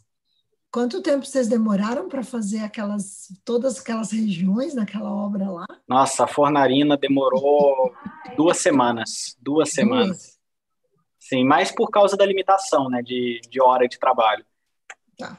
Mas ainda assim, a gente fez um outro quadro maior do que a Fornarina. A Fornarina, se eu não me engano, foram 800 e alguma coisa pixels por 500 e alguns quebrados. A gente fez um 900 e tanto por 700 e alguma coisa, ou seja, bem maior. Até o cubo de dados foi muito mais pesado, né? A Fornarina, se eu não me engano, eram 3.5 GB depois de compilado. Esse outro quadro chegou a 6.6 GB e a gente fez uma semana. Mas porque a gente não deixava o instrumento descansar mesmo, foi trabalhando Vocês... direto, direto e esse tubo de vocês aguentavam? Aguentava. A gente ficou com medo dele né, parar de funcionar de repente, assim, durante a análise, né, até porque o tubo já tem uma quantidade de horas de trabalho aí nas costas, mas seria falha, na verdade, falha normal, de um, né, atingir o limite de horas do, do tubo. Que tubo é mesmo? E a, e a... É um Moxtec, Moxtec Analog Handheld. E a estabilidade do tubo durante todas essas horas de medida, como foi? Não, não mexeu nem um pouco. Continuou com a, com a corrente e com a voltagem que a gente colocou ali do início. e seguiu direto, não, não oscilou em nenhum momento. Tanto que as imagens a gente não teve nem que fazer uma normalização nem nada, né? Ela veio completamente já homogênea, cada cubo de dados era já homogêneo. Um pixel ou outro ficava um pouco fora, mas aquilo era a quantidade de processamento de dados, que como a gente fez um tempo de aquisição um pouco rápido, é muito arquivo para ele ir escrevendo, então às vezes ele coletava radiação por um pouco menos de tempo, isso acontecia com 1% dos pixels. Eu não calculei, mas era nessa ordem, né? um cubo de dados aí de 140 mil pixels tinha 20, mais ou menos, que, que tinha esse problema. Mas foi só isso, o caso do problema, na verdade, mais de hardware e software do que do tubo. O tubo não teve nenhum problema. E vocês a fazer uma aquisição de modo contínuo, por fila, assim, não? É, a gente a gente está fazendo em ponto a ponto, né, o raster scan, mas a gente tem um protótipo já do software ele funcionando em contínuo. Ele funciona bem em contínuo quando a gente faz é, 500 milissegundos de, de aquisição. Ele funciona, ele vai direitinho, não tem nenhum problema se a gente começa a mudar o tempo de aquisição, ele começa a desandar, é, as linhas começam a ficar um pouco serrilhado, porque ele tenta sincronizar, enfim.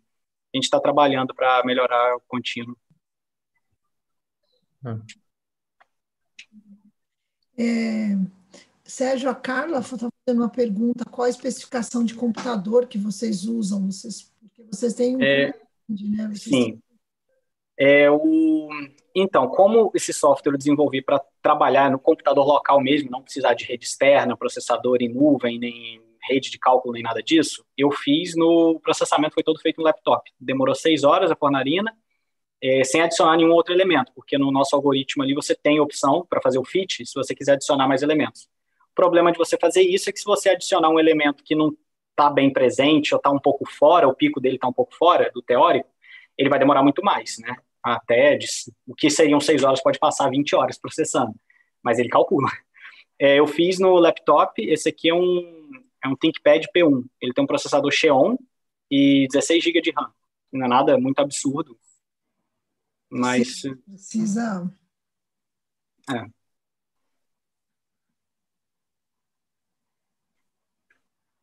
Ok.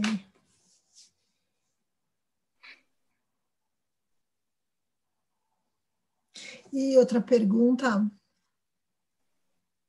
é, Sérgio, como que é o acesso de vocês é, para essas obras? Ou seja, como que é a requisição é, desses trabalhos? Como que vocês fazem isso? Como que o grupo interage com os museus? Você pode contar um pouquinho Sim, disso? sim. A interação com o museu, a gente tem convênio aqui com o Museu de Arte Moderna, é, que fica ali perto da Galeria Borghese, da Vila Borghese, tem o Museu de Arte Moderna, e a gente tem contato com a galeria, né, a própria galeria é, Palácio Barberini, Galeria Corsini.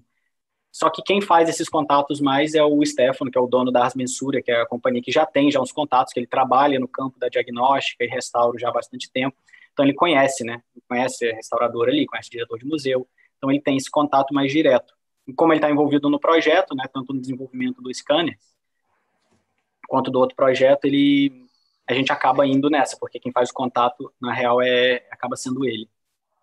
Uma mostra outra. É, a universidade acaba não se metendo, principalmente a Sapienza, é, mas não, é mais na parte do privado mesmo. E outras uhum. amostras, como por exemplo esse azulejo, é, contato né, com, com outros professores, outros profissionais de outras universidades.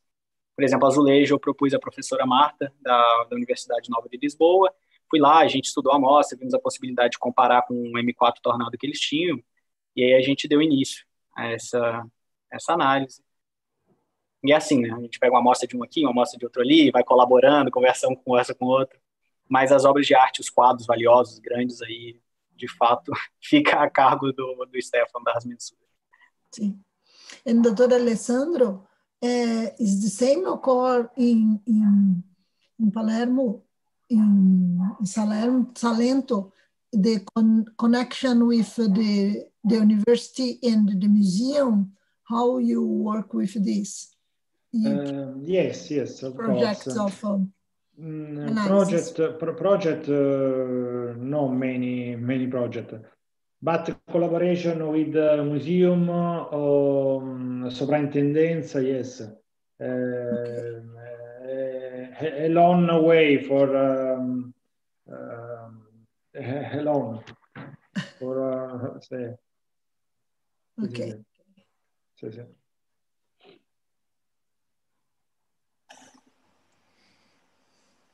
Eu tive uma, uma, experiência também com a superintendência, agora que o Alessandro comentou da superintendência, eu é. tive um contato com a superintendência de arqueologia em Sassari, a gente queria fazer análise em bronzete, animalete, né, as pecinhas de bronze ali, e qual se essa análise, eles tinham que estar junto. Então, se ia transportar do ponto A ao ponto B, tinha que vir um responsável da superintendência. Sim, e, sim, sim, sim, sim, Não deixava na mão da gente. Sim, sim, sim. Mas, sim, mas sim. ter eh, o equipamento portátil permite ah. muito melhor essa parceria, né? Porque o sair do museu. Più o meno. Sì, sì, non, sei, non sempre. Uh, but uh, sì, uh, dipende da um, sovrintendente. But,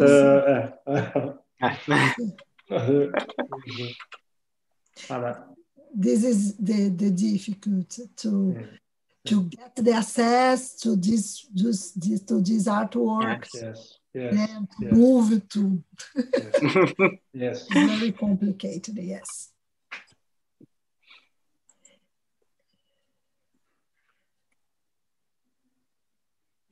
Renato você está aí?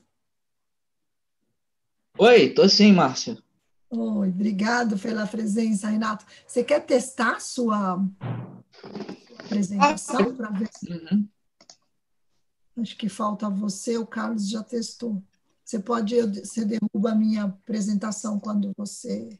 Eu posso até fazer stop share. Ah, posso compartilhar agora, né? Pode, pode compartilhar. Nós estamos no café, né? Nosso horário de café agora.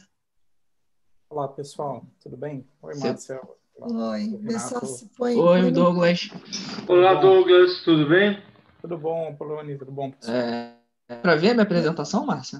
Tô, só põe no modo exibição, por favor. É isso. Isso, quer passar uma só para. Eu passo tudo para a gente ver. Não, não, só uma, perfeito, pronto, deu certinho. Ah, não tá, não tá com aquelas coisas distorcidas, não, né? Não, não. Deixa eu ver se um vídeo aqui que eu coloquei vai passar. Ah, testa. Testa, por favor, também. Que essas, essas tecnologias sempre deixam a gente na mão, né? Ah, sim. Ixi, nem me fale.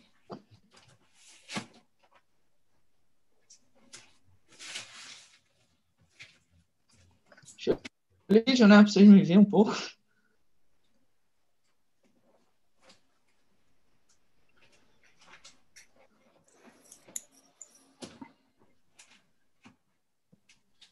Tá, tá passando o vídeo, né, Márcia? Tá, tá passando, Renato. Cheio de novidade, hein, Renato? É, uma pena que a Covid, assim, né? Uma é. pena a situação toda, né, da pandemia. É, é, é. Mas estava com projetos muito bons esse ano e não conseguimos andar. Obrigado, Renato, por, por aceitar participar. Muito agradecido mesmo. Muito importante vocês nos contarem as, o Joaquim também deve contar coisas à tarde, né? Mas obrigado, Renato. Então, é, tá tudo certo aí com a minha apresentação, né? Tá certinho, tá perfeito. É, na verdade, eu é que agradeço, Márcia, assim, para gente que é um grupo tão emergente, né? Assim, ter essa oportunidade no meio de é Não, é muito importante. Eu acho que a escola, a escola tem esse objetivo de trazer essas coisas, essas discussões. Nós temos, tá vendo? Nós somos 50 50 participantes agora, então acho que é legal.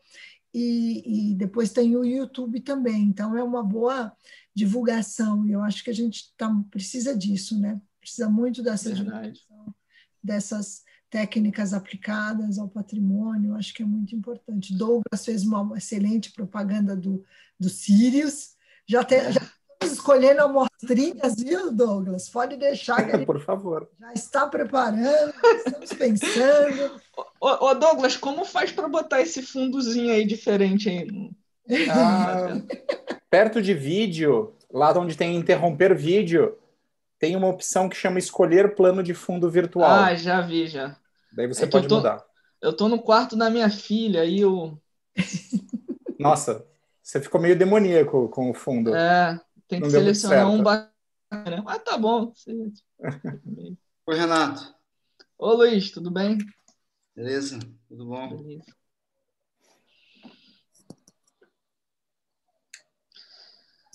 E como é que tá as perspectivas aí, Márcia? Já tem, já tem é, calendário de retorno para as medidas de museus? Como tá as coisas? Aí? Complicado, né? Quer dizer, a Pinacoteca voltou, nós já estamos agendando uma, uma, uma análise lá, porque tem porque os mestrados, eu, tô, eu tenho muito mestrados, né?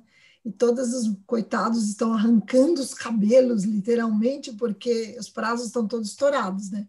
Faz um ano que a gente, né? Março, mas a, a CAPES estendeu o prazo de vocês, né? Estendeu, estendeu, mas é, no, no, programa de museologia é, é, dois anos exatos, sabe? Começa e termina em dois anos. Então, uhum. Extensões foram ainda engessadas, né? É diferente da é. física, que nós temos três anos de mestrado. Então, a extensão ainda tem um fôlego, mas o mestrado não, de museologia não. Então, o pessoal da museologia está arrancando os cabelos, as meninas estão e aí os museus não voltaram. O MASP está voltando, o museu, o museu Pinacoteca voltou, mas os museus da universidade não voltaram ainda. Na verdade, eles estão eles estão ativos, né? Eles estão fazendo as inspeções nas obras, as pessoas, mas tudo em, em escala, né? Escalonado. Eles não têm espaço para público ainda, né? Para para os pesquisadores. Eles, eles estão com um pouco de receio de encaixar isso dentro das atividades que eles já estão fazendo, que estão com muitas vezes com quadros aí, de Aí haja criatividade, né, para poder suprir essa, esse, é, esse é. calendário que já tinha né? Porque você se programa para um é. calendário é, e. É, nós temos um projeto. Olá, Renato. Olá, professor Poloni, tudo bem? Tudo bem. Eu estava ouvindo esse finalzinho, Márcia, pela primeira vez eu dei sorte com relação a essa história de prazos, né? Porque os dois alunos que eu tinha envolvido, um de mestrado e um de doutorado, a gente tinha, conseguiu terminar tudo, todas as medidas no ano passado. Eu só estava analisando dados agora e acabamos não sendo pegos nessa contramão de, de do fechamento dos laboratórios. Eu tenho seis mestrados e os seis mestrados estão todos. É por isso que eu vejo que você está praticamente sem cabelos, né?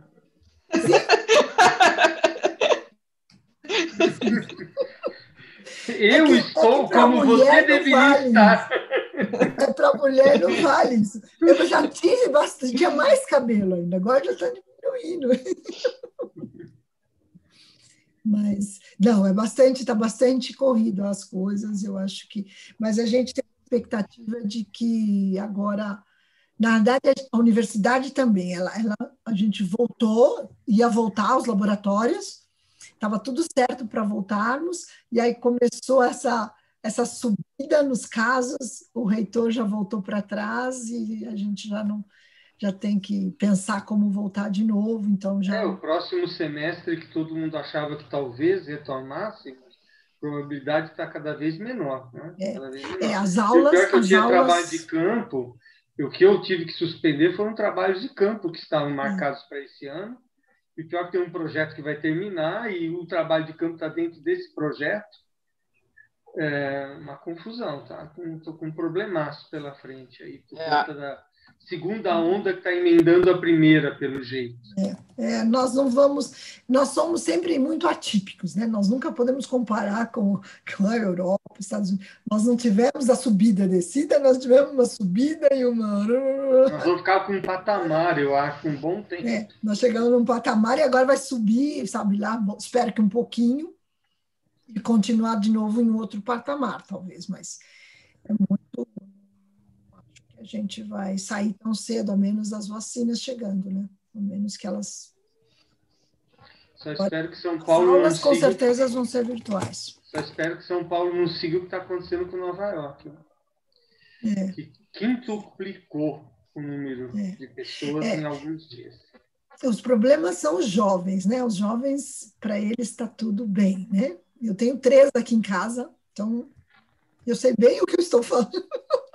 Um deles até está com coronavírus, está na casa dele, tá no apartamento dele, mas pegou, porque agora eu quero. Não dá, eles querem sair, precisam encontrar amigo, né? O prefeito aqui está se virando para conseguir é. segurar o povo.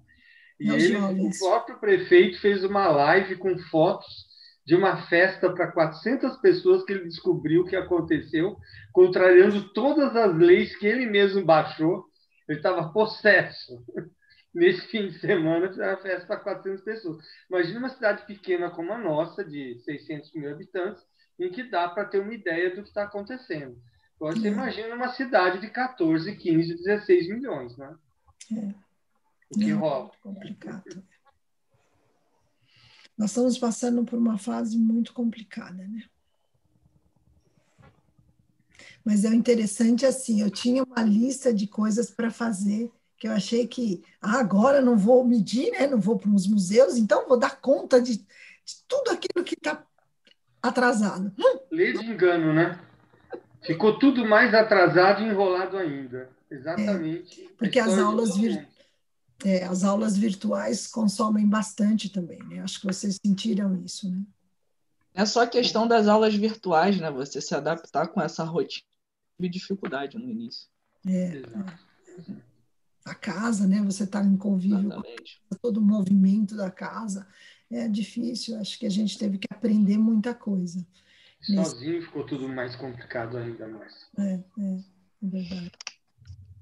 Douglas, vocês já estão ativos lá? Como estão as coisas nos Sírios? Quer dizer, vocês, vocês estão indo de vez em quando lá? É, parcialmente, né? A montagem do acelerador e das linhas continua. Isso está uhum. acontecendo, mas o campus ele está fechado para usuários externos, uhum. com exceção de pesquisas com Covid, e tá. fechado ah, para claro. alunos e pós-docs não podem entrar no campus. Então, quem entra são pesquisadores que estão envolvidos com a montagem das linhas. Isso a gente não parou e nem pode parar. Né?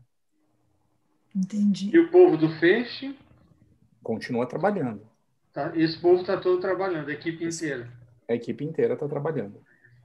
Isso sim. É isso sim, porque a gente está comissionando a máquina, né? Então a gente não é, tá parou. Está comissionando agora, né? É, a gente está comissionando, abrindo as linhas. A gente acabou de abrir o front-end da IP, que é a linha de, de, de VUV, né?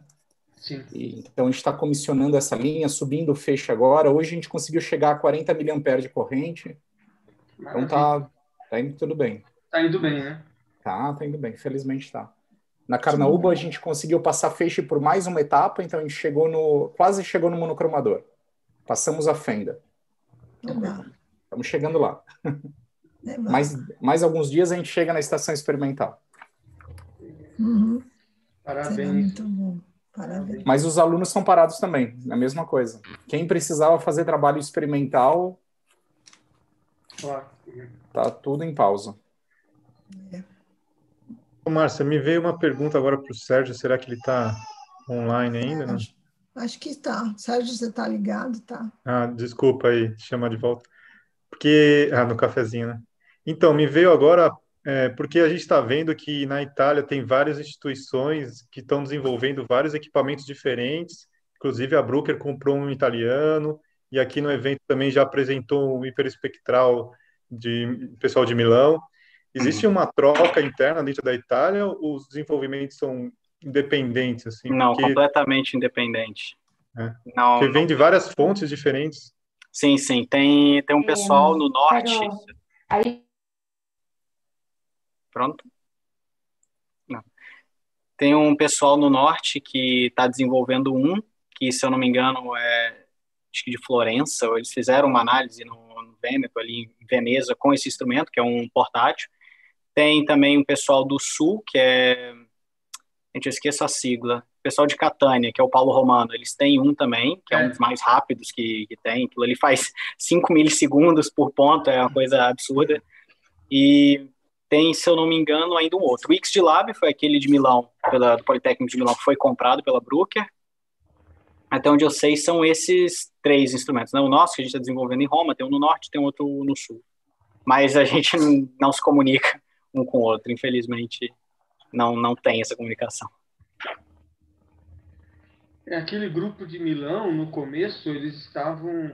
Era uma empresa deles mesmo, né? Sim, não sim. Foi, não foi esse povo que, quando foi feita aquela reunião é, da área de conservação lá em Minas, lá em, no Rio de Janeiro, Luiz, que eles levaram o equipamento e fizeram a, a demonstração do mapeamento lá no Museu Histórico Nacional. Lembra, Luiz? O pessoal do XG Lab. Exatamente. Ah, então, esse equipamento, e eles também estavam fazendo um de combinar Raman com a XRF, é, embora lá no Rio eles estivessem mostrando para a gente solo de fluorescência, né? E eles é que foram comprados pela Brooklyn. É. Sim.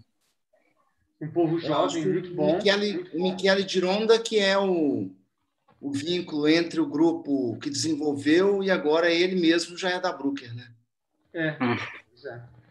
Aliás, a Brooker tá, anda olhando todos os, os desenvolvimentos independentes e comprando, né? Sim, rapidinho. Sim.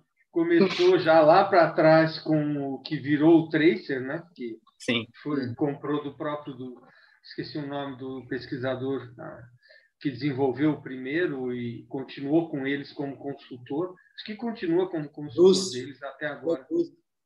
É. É o que foi lá no. O Bruce foi em, em São João Del Rei.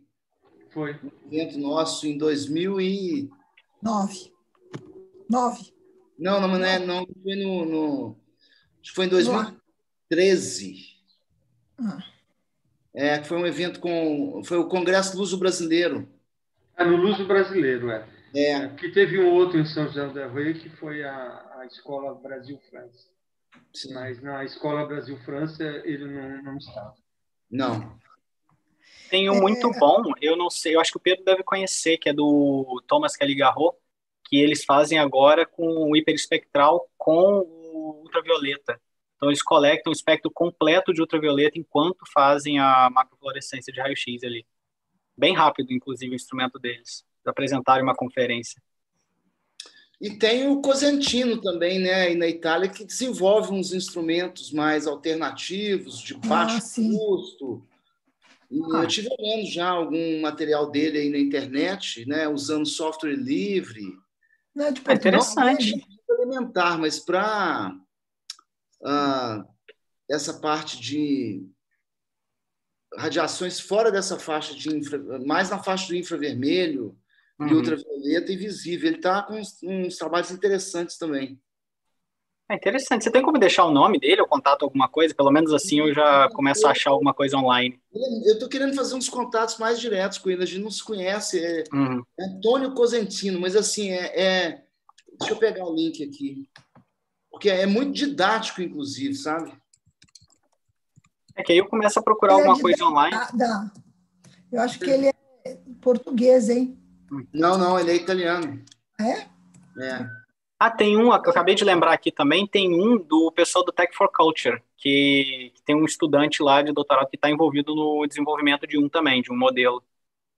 Renato, você pode abrir seu vídeo? Eu vou fazer uma foto do grupo todo agora. Obrigada. Internacional. Vamos lá. A Isamara já achou aí, ó passou no, no chat. Ah, beleza.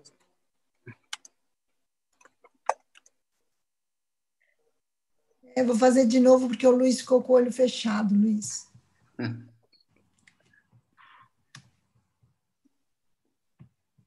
Meu olho já é fechado normalmente. Obrigada. Thank you. Volta, Tiaca. Ah, tá. Eu conheço esse laboratório, o TIAC SOS. Eles disponibilizaram até um database de, de espectro de fluorescência de raio-x para todos os pigmentos. Eu acho que até mandei para você, se eu não me engano. É, de Raman também. Sim, eles E é tudo open source. Muito bom, muito boa a iniciativa deles, né? Disponibilizado assim. Ok, acho que está chegando a hora, acabando o nosso café. Eu vou dar o PowerPoint para o Douglas poder tocar. Tá bom, Douglas? É com você agora. Obrigada. Tá bom, Márcia. Obrigado. Bom, então podemos continuar. Olá, pessoal. Bem-vindos de volta. Espero que tenham aproveitado o cafezinho. Meu nome é Douglas Galante, para quem já, para quem ainda não me conhece, e eu vou ser chair dessa sessão agora, que é a terceira sessão de palestras sobre espectroscopia. E hoje eu tenho a honra de apresentar dois grandes amigos e colegas. É, então vamos começar pelo professor Carlos Roberto Apoloni. O professor Apoloni é bacharel em física, mestre, doutor e pós-doutor em física nuclear. É também docente da UEL desde 1976, onde criou e coordenou o Laboratório de Física Nuclear Aplicada. Ele desenvolve e aplica diversas técnicas analíticas e de imaginamento. Eu nem vou descrever todas aqui, porque é muito trabalho que o professor Apoloni vem, vem fazendo ao longo desses anos. E vem aplicando especialmente em bens culturais e materiais antigos, sendo um dos maiores especialistas dessa área no Brasil. Também é pesquisador 1B do CNPq, e eu tenho o prazer de dizer que ele é um parceiro de longa data do LNS, participando de vários dos nossos comitês. Então, professor Apoloni, fique à vontade, pode abrir a sua apresentação.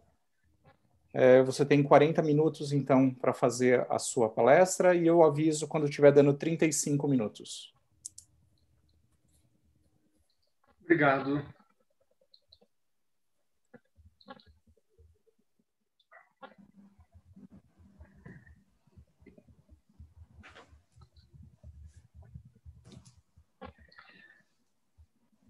Bem, é... bom dia a todos. Está funcionando tudo ok? A tela está tá aparecendo aí? Está bem. Perfeito. Perfeito. É... Eu vou então tratar, é, focar mais nos trabalhos, é, historiar um pouco os trabalhos de equipamentos móveis, o uso em campo dos equipamentos móveis no nosso é, laboratório. É, para quem não sabe, o nosso laboratório é, fica na Universidade Estadual de Londrina. Começou como física nuclear aplicada, porque realmente só usávamos na época técnicas nucleares. Agora, já várias décadas que isso foi ampliado, e, mas continua com o mesmo nome. Né?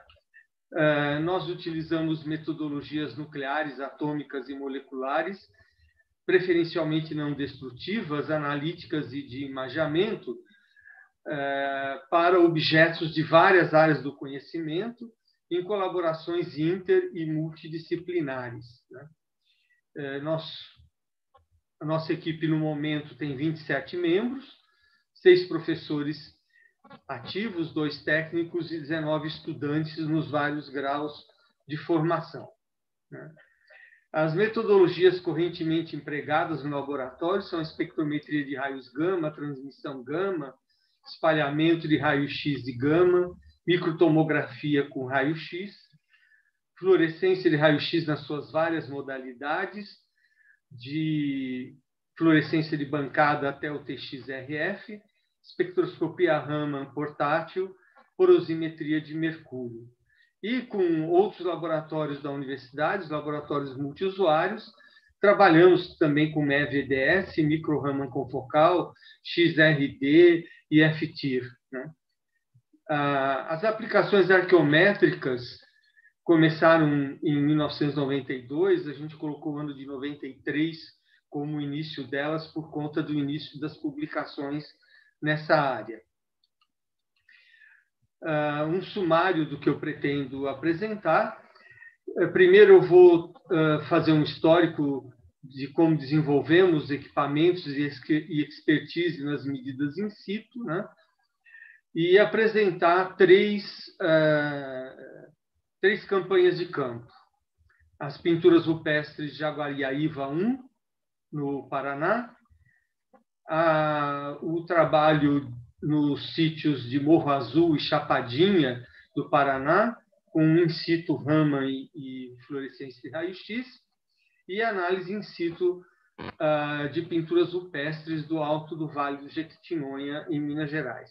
Né? É, para chegarmos a trabalhar em campo de verdade, durante percorremos um caminho bastante razoável, uh, usando equipamentos portáteis in situ mas não em campo. Né? Ah, em 2003, nós desenvolvemos um sistema portátil usando fonte de plutônio 238, com um detetor de silício PIN na época, notem a resolução e energia dos detetores, que vai cair até menos da metade dessa ao longo do tempo nessa apresentação. Né? E com esse sistema nós fizemos medidas de objetos etnográficos metálicos da coleção africana do Museu de Arqueologia e Etnologia da USP, que foi o primeiro museu com o qual, e uma grande lista, a gente começou a trabalhar. Né? E aqui temos umas fotos da época mostrando o sistema que foi desenhado e construído nas nossas oficinas, esse, esse probe de acrílico, onde dentro dele está a fonte anelar de plutônio e o encaixe com o detetor, né? e o suporte com translação e rotação para o sistema para poder atingir os objetos né? de vários tamanhos e geometrias uh, do museu. Em 2005, uh, eh, nós começamos a trocamos, melhoramos o sistema, passamos agora a utilizar os tubos da Moxtec, né? Os mini tubos da Moxtec que na época começaram a ficar disponíveis é, e os pequenos detetores também, ainda não do tipo 1, 2, 3, ainda com vários módulos, né? mas que permitiu uh, passarmos a utilizar tubos de raio-x nesses sistemas portáteis. Em 2005, no MAI também fizemos medidas de metais pré-colombianos, cerâmica tupinambá e esculturas do século XVIII, que são essas que estão aí mostradas. Né? Patenteamos esse sistema portátil com tubo de raio-x, né? e a patente no Brasil leva mais de 10 anos para sair. É, ela saiu em 2019. Né? Em 2006, levamos, uh, fomos convidados para trabalhar no Museu Histórico Nacional, no Rio de Janeiro. Fizemos um estudo de moedas de prata e ouro da coleção numismática, foram da ordem de 150 moedas e também 10 objetos históricos do acervo do museu. Numa primeira etapa, nós levamos o sistema com uma fonte de plutônio e depois a maior parte do restante das medidas foi feita com o sistema é, com um mini tubo de raio-x, né? Notem que a resolução do detetor aqui já caiu para 221 eletronvolts, né? Ou seja, nós, a, a, a evolução da tecnologia dos detetores foi nos ajudando a obter resultados melhores. Né?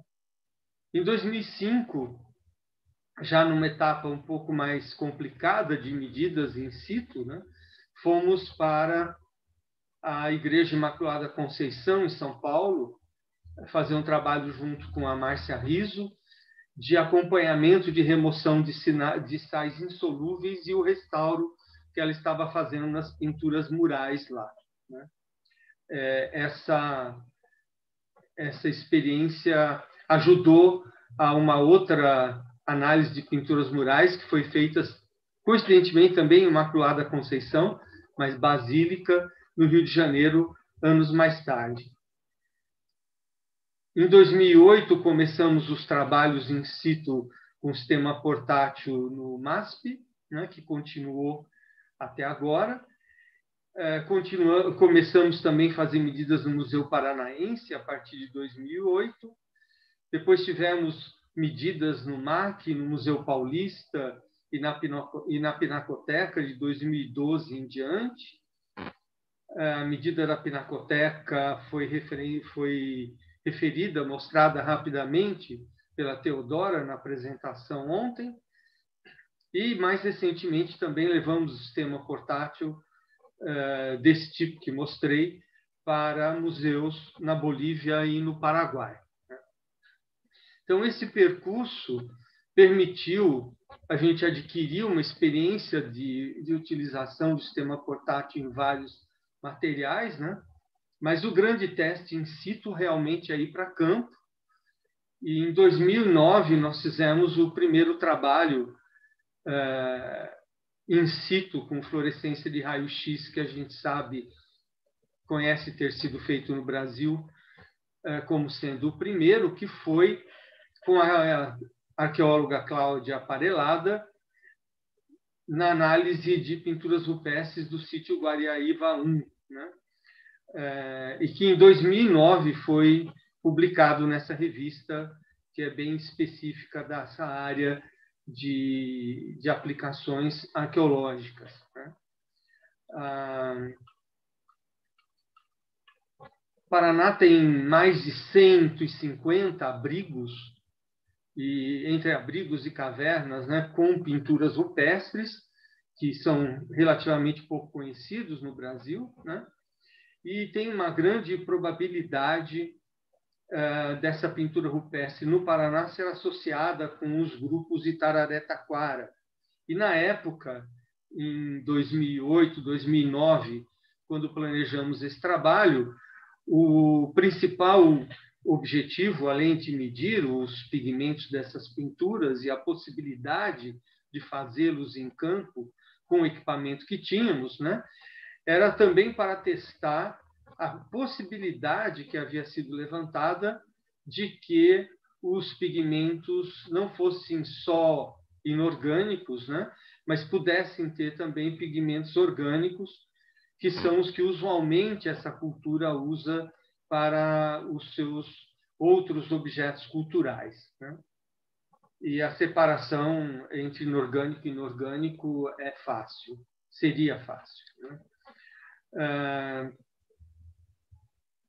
no entanto, a maior parte das pinturas rupestres no Paraná sobre rochas normalmente não mostram esse comportamento, né?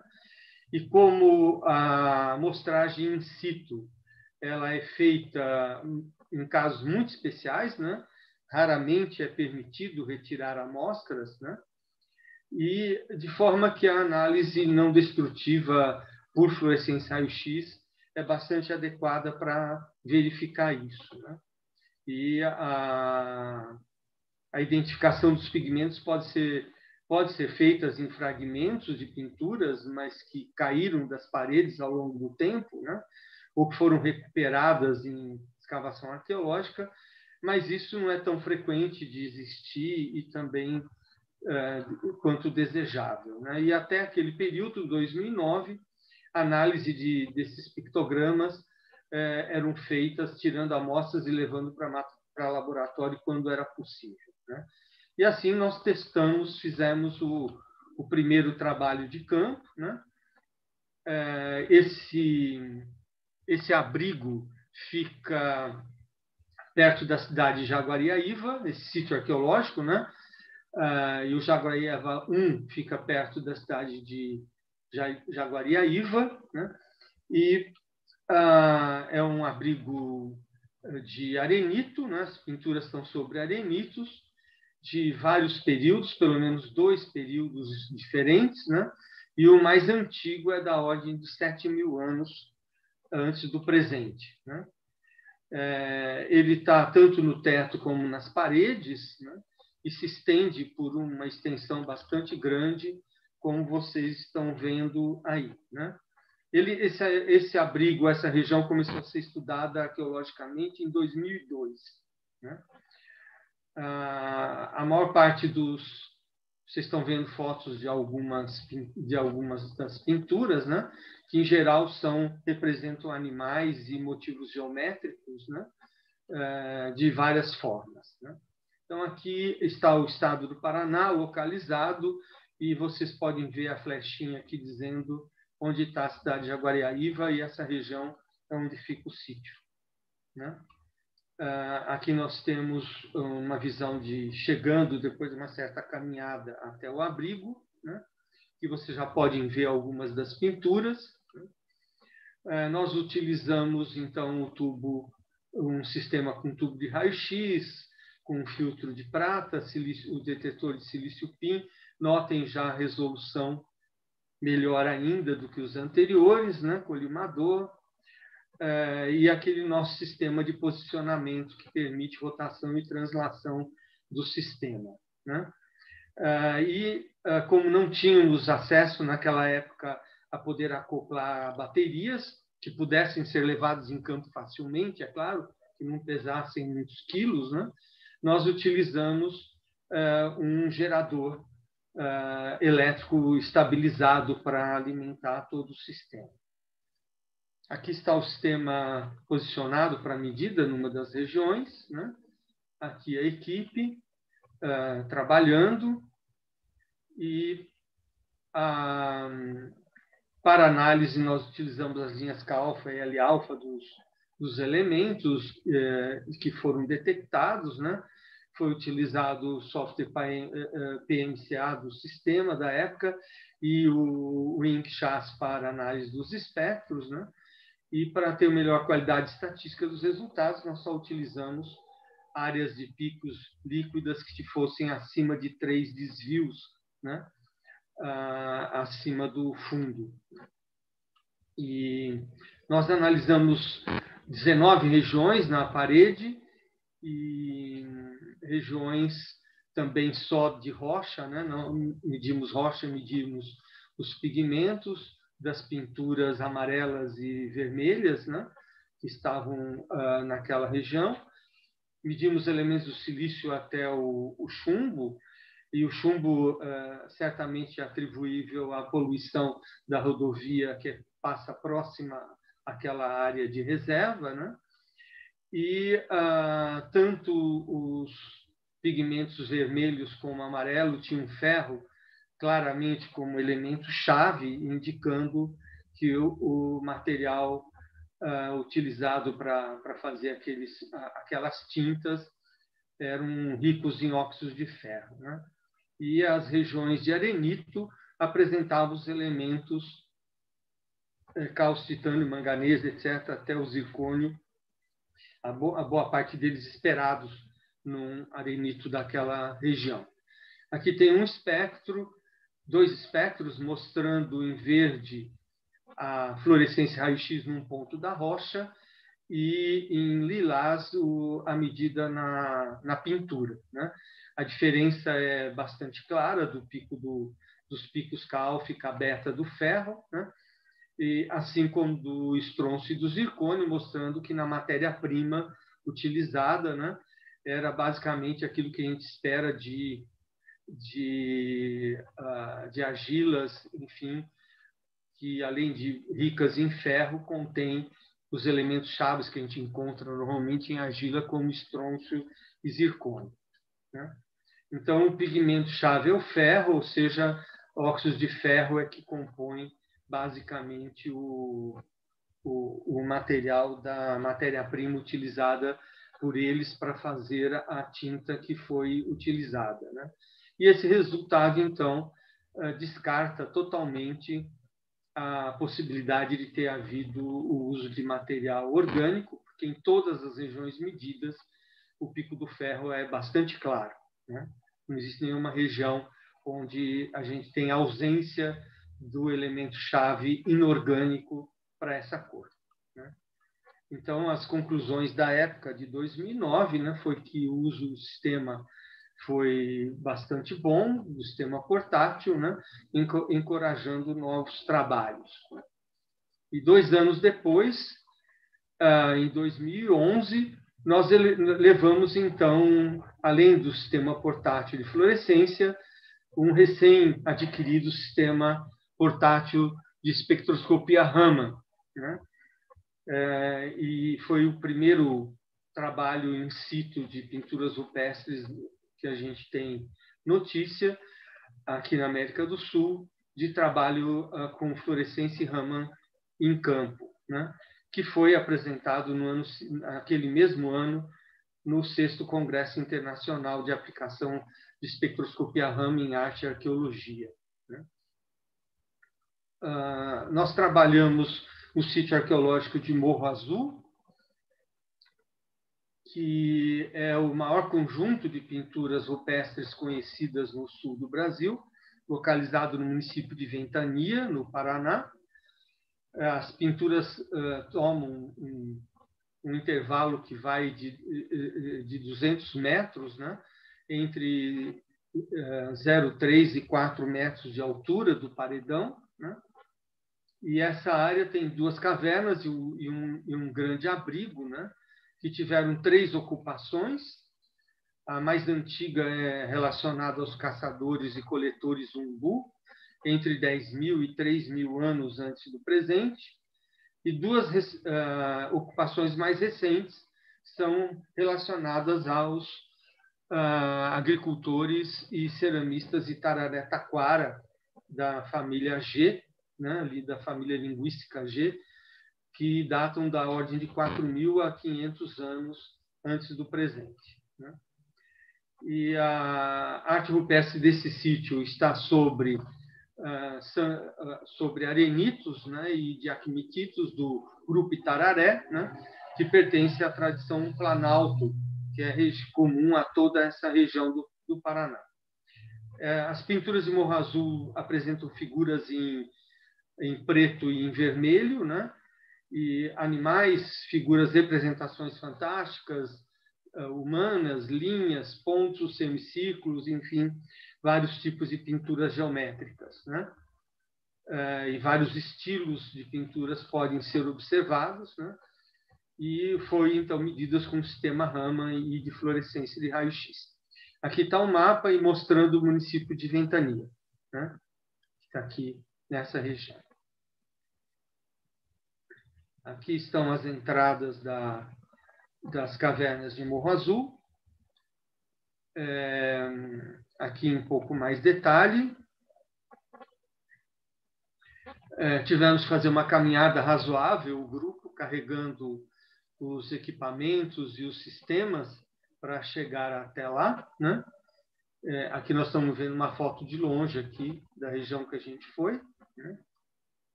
E aqui já na, numa das cavernas, que vocês podem ver os bastonetes vermelhos, numa das regiões. Né? As pinturas são, a maior parte delas, muito degradadas. Né? Aqui a colocação do sistema Raman, por exemplo. Aqui atrás vocês podem ver uma figura que é um pássaro em vermelho, que está o bico dele, a cabeça e o bico é, que dá para ver em mais distância, aqui já colocando o sistema de fluorescência de raio-x, aqui aquele pássaro vermelho, aqui em mais detalhe, aqui o posicionamento e a medida com o Raman, né? Uh, o outro sítio ali próximo foi o de Chapadinha 1 e 2, uh, em Piraí, Piraí do Sul, né? São abrigos que têm pinturas ao longo de 13 metros e meio uh, de comprimento e entre 1 e 4,4 metros de altura, né? Tem pelo menos três fases cronológicas superpostas de pinturas em vermelho e marrom, né? com vários tipos de figuração de animais e, e geométricas, né? E ah, na Chapadinha 1, Chapadinha 2 são pinturas ao longo de 9 metros e ah, altura variando entre 0,6 e 1,6 de altura. Né? Tem quatro painéis grandes com figuras em vermelho, né? Eh, geométricas e com animais. Né? E no caso de Chapadinhas, nós só fizemos medidas com o sistema Raman, não usamos a fluorescência. E aqui mostramos o, o outro município, aquele Piraí do Sul. Né? Então, nesse período, de, nesse trabalho de campo, nós estivemos em, dois, em duas regiões, dois municípios diferentes. Né?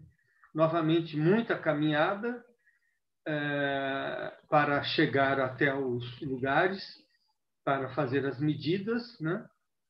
E as condições nem sempre muito fáceis. Uh, tivemos dias de muita chuva e muito barro, mas essas fotos a gente não tem para mostrar aí, né?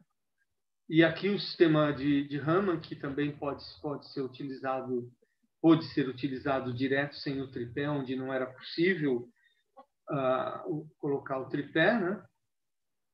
E mais algumas fotos aí mostrando a região. Nós tivemos que subir numa região bastante alta, na verdade, para chegar nesse abrigo aqui em cima. Ah, em Morro Azul, nós usamos então o sistema de fluorescência portátil com aquele mesmo sistema anterior de silício PIN, né? É, com tempo de aquisição maior por conta da, das pinturas mais degradadas, né? E o Raman, é, um sistema da Delta Nu, que na época era um, um equipamento relativamente novo, né? Hoje os sistemas portáteis são muito melhores, seja em resolução, seja em, em espectro, o espectro de comprimento de ondas que podem ser medidos, né? Mas era o que tinha possível naquela época. Né? É, nessas nas cavernas de Morro Azul aí um, dois, três, além desses elementos, de outros elementos, nós medimos mais em detalhe quatro figuras, né? tanto por Raman como por fluorescência raio-x, ou seja, dez regiões foram medidas em mais detalhe. Né? E as figuras mais emblemáticas eram as que foram chamadas de pássaro vermelho, círculo raiado de preto, né? É, os bastonetes vermelhos e o, o, o sapo preto. Né? É, só tinha pigmentos preto e, e vermelho para ser medido. Né? Por fluorescência X foi determinado que o ferro era elemento-chave de todos os pigmentos vermelhos. Né? e por, pela análise do espectro Raman, uh, nós medimos as uh, três linhas da hematita, caracterizando a matéria-prima como rica em hematita, basicamente. Né? O pigmento preto apresentou manganês como elemento-chave, mas como eu vou mostrar um pouco mais à frente, uh, material orgânico em uma quantidade de matéria orgânica bem maior do que o que estaria presente também no pigmento vermelho. Aqui estão os bastonetes vermelhos, uh, que ficaram um pouco mais simples de medir. Né? E aqui tem um espectro, aqui estão, estão as linhas cálfica beta do, do, do ferro, né? que são as praticamente dominantes. Uh, em alguns espectros, a gente viu também um pouquinho de manganês. Né? Uh, aqui está um dos espectros de, de Raman, medidos no bastonete. É, em vermelho é o espectro medido na rocha, né? e em preto é o. Perdão, é, é, é, digo, na linha vermelha está é o espectro Raman medido na rocha, no entorno aqui, longe da, da região pintada, e a linha preta é o espectro medido no pigmento vermelho. Então, nós vemos aqui as diferenças, o crescimento das linhas, e aqui na desconvolução a gente pode ver as quatro linhas, as quatro bandas, perdão, do, da hematita. Aqui só em mais detalhe, mas a, a mesma coisa, que só para comparar que é um espectro puro de hematita, né? e, e as linhas que foram desconvoluídas, da, as bandas que foram desconvoluídas do que nós medimos. No pássaro vermelho, fizemos medidas no pássaro e na rocha, né, que estão mostrando quatro dos pontos medidos. Né?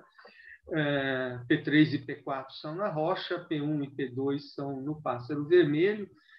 É, a, o ferro e o estrôncio, que deve, deve ser contaminante da matéria-prima, caracterizam o, o, pigmento vermelho, né? e outros Uh, outros elementos também foram medidos tanto na rocha como no pigmento. Né?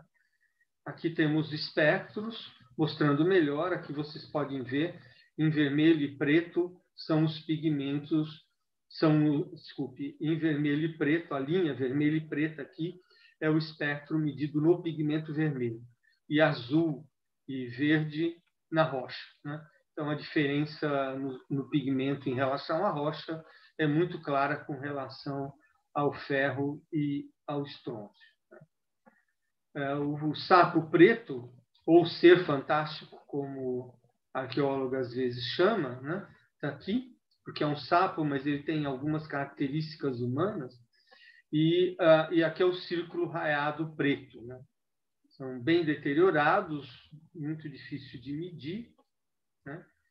Uh, aqui está um espectro de fluorescência de raio-x, mostrando a, a, linha de. No, no ponto preto é o P1 e o P3, que são respectivamente o preto e o azul. Né? Então, a, a gente vê a diferença é, com relação ao ferro e outros elementos que o pigmento apresenta. Né?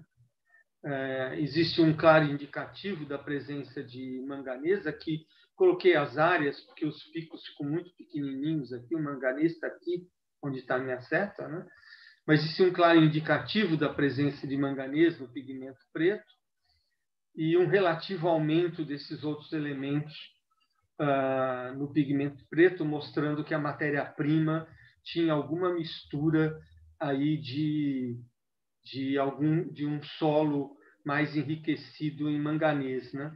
mas não o suficiente é, para explicar. É, esse crescimento bastante grande da, do Compton no espectro já foi um indicativo grande de matéria orgânica na, no pigmento preto. Né? Isso nos chamou a atenção, a variação do Compton, à medida que a gente media pontos mais claros ou mais escuros no preto, né? para analisar a área Compton. Então, separamos eh, regiões do espectro, região de 19 eh, a, a 21 keVs e de 8 a 13 keVs, né? Uh, e vimos que realmente elas separavam bem, ou seja, tinham características, mostravam características diferentes, né? E aí, utilizando, por exemplo, a região entre 8 e 13 keVs, fazendo essa análise multivariada por componentes principais, usando só aquele pedacinho do espalhamento Compton, foi possível separar. A gente observou claramente a separação entre os pigmentos né, do círculo raiado preto, né, do pássaro vermelho né, e do, do preto. Né, os pigmentos tinham uh, características um pouco diferentes. Né? Uh, usando a outra região entre 19 e 21 kevs, uh, também foi observado uma separação clara entre os pigmentos dos pontos vermelhos, né? um hemisfério diferente do onde está o círculo raiado preto e eh, o quadrante diferente da rocha. Né? E a gente continuou trabalhando essa, essa parte de espalhamento côncavo é muito rica, mas eu vou ter que seguir em frente, né? as diferenças no espalhamento do fundo estão do fundo Compton são relacionados à matéria orgânica, né? A matéria orgânica a gente não mede diretamente pela fluorescência raio-x, mas indiretamente a gente detecta sim pelo espalhamento Compton. Em várias situações é possível até quantificar certas coisas. Né? Então, uh, o gráfico de loadings que está aqui mostra né, que quanto mais à direita, maior a quantidade de matéria orgânica, e quanto mais à esquerda, menor a quantidade de matéria orgânica, ou seja, no pigmento preto, do círculo raiado preto, é que nós temos a maior quantidade de matéria orgânica, ou seja, o pigmento preto pode ter com certeza um pouco, tem um pouco de manganês, de óxido de manganês, mas ele é majoritariamente orgânico. Né? Já essa indicação é dada pela fluorescência de raio-x. Né? É, aqui a mesma coisa, só em outra escala. Passando aos resultados de, de Raman, aqui estão todos os espectros de Raman no pássaro vermelho, né? Em vários pontos do pássaro vermelho, vocês podem notar a variação, algumas, ban as, a, algumas bandas se repetem né? em todos os lugares, né? É, que são as bandas da hematita, mas variam a intensidade, tem bandas diferentes, novas, né? Então, além de analisar as bandas em si, o que é que o espectro inteiro nos diz, né? Aqui a mesma coisa o espectro dos bastonetes vermelhos, e no caso ah, aqui os, o, é o mesmo. O que é que a análise multivariada nos diz do espectro todo? Né? É, além de detectar que tem hematita, mas também tem varia, quantidades variáveis né, de hematita e a presença de outros elementos que, na análise variada uh, dos espectros totais de, de rama, a gente pode notar, ou seja, o grupo do, das medidas do pássaro vermelho, né? Uh, aqui os as rodas, os bastonetes vermelhos, né? Aqui o pássaro, digo, o sapo preto e o círculo preto, né?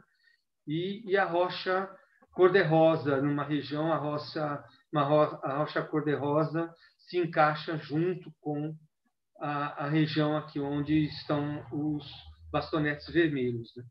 Então, a, a, a, análise Raman também, fazendo análise multivariada, a gente pode observar as diferenças entre os diversos pigmentos com todo o espectro. Em Chapadinha,